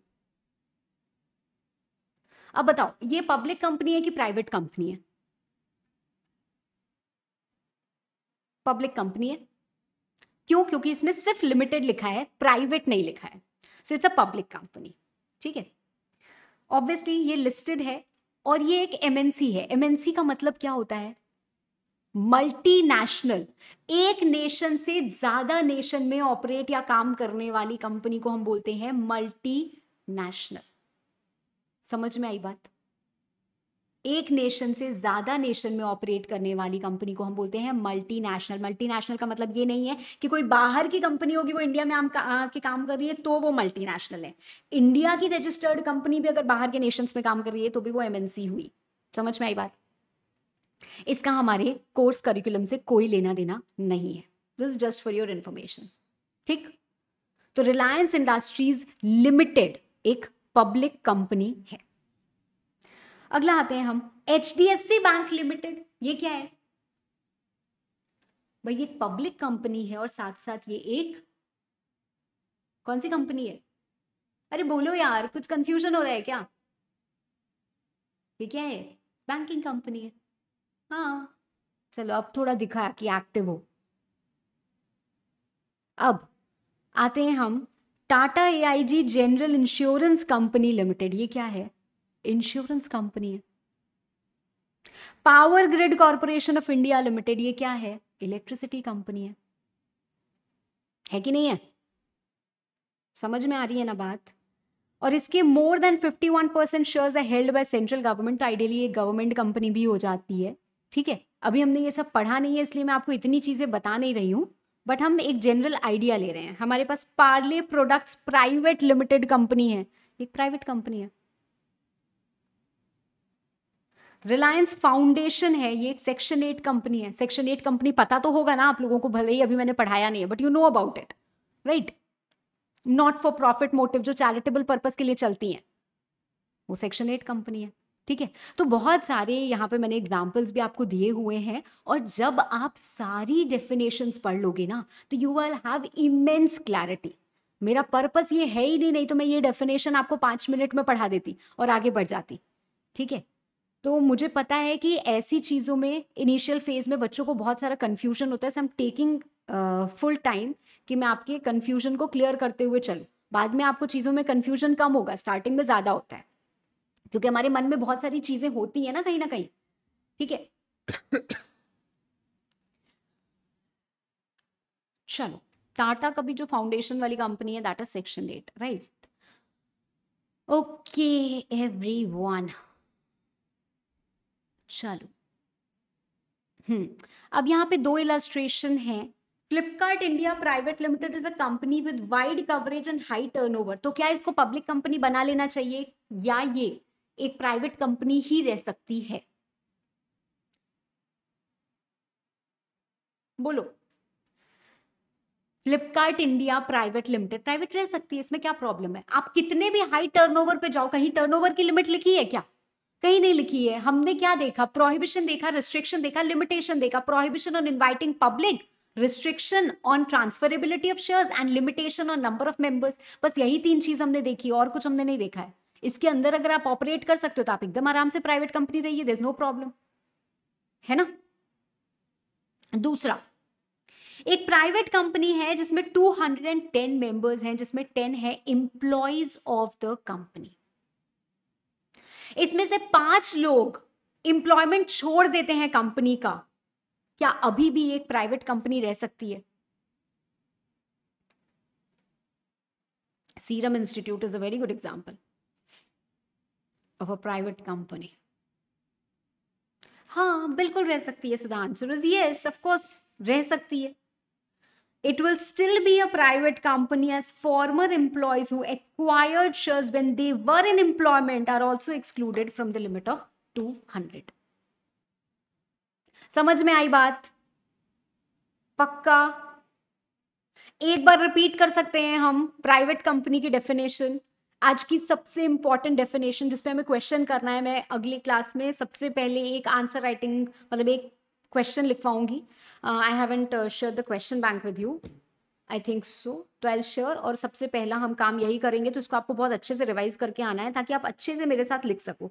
You don't have to forget the key words okay तो क्या है हमारी? सबसे पहले बताओ कि सेक्शन नंबर कौन सा है? Section two clause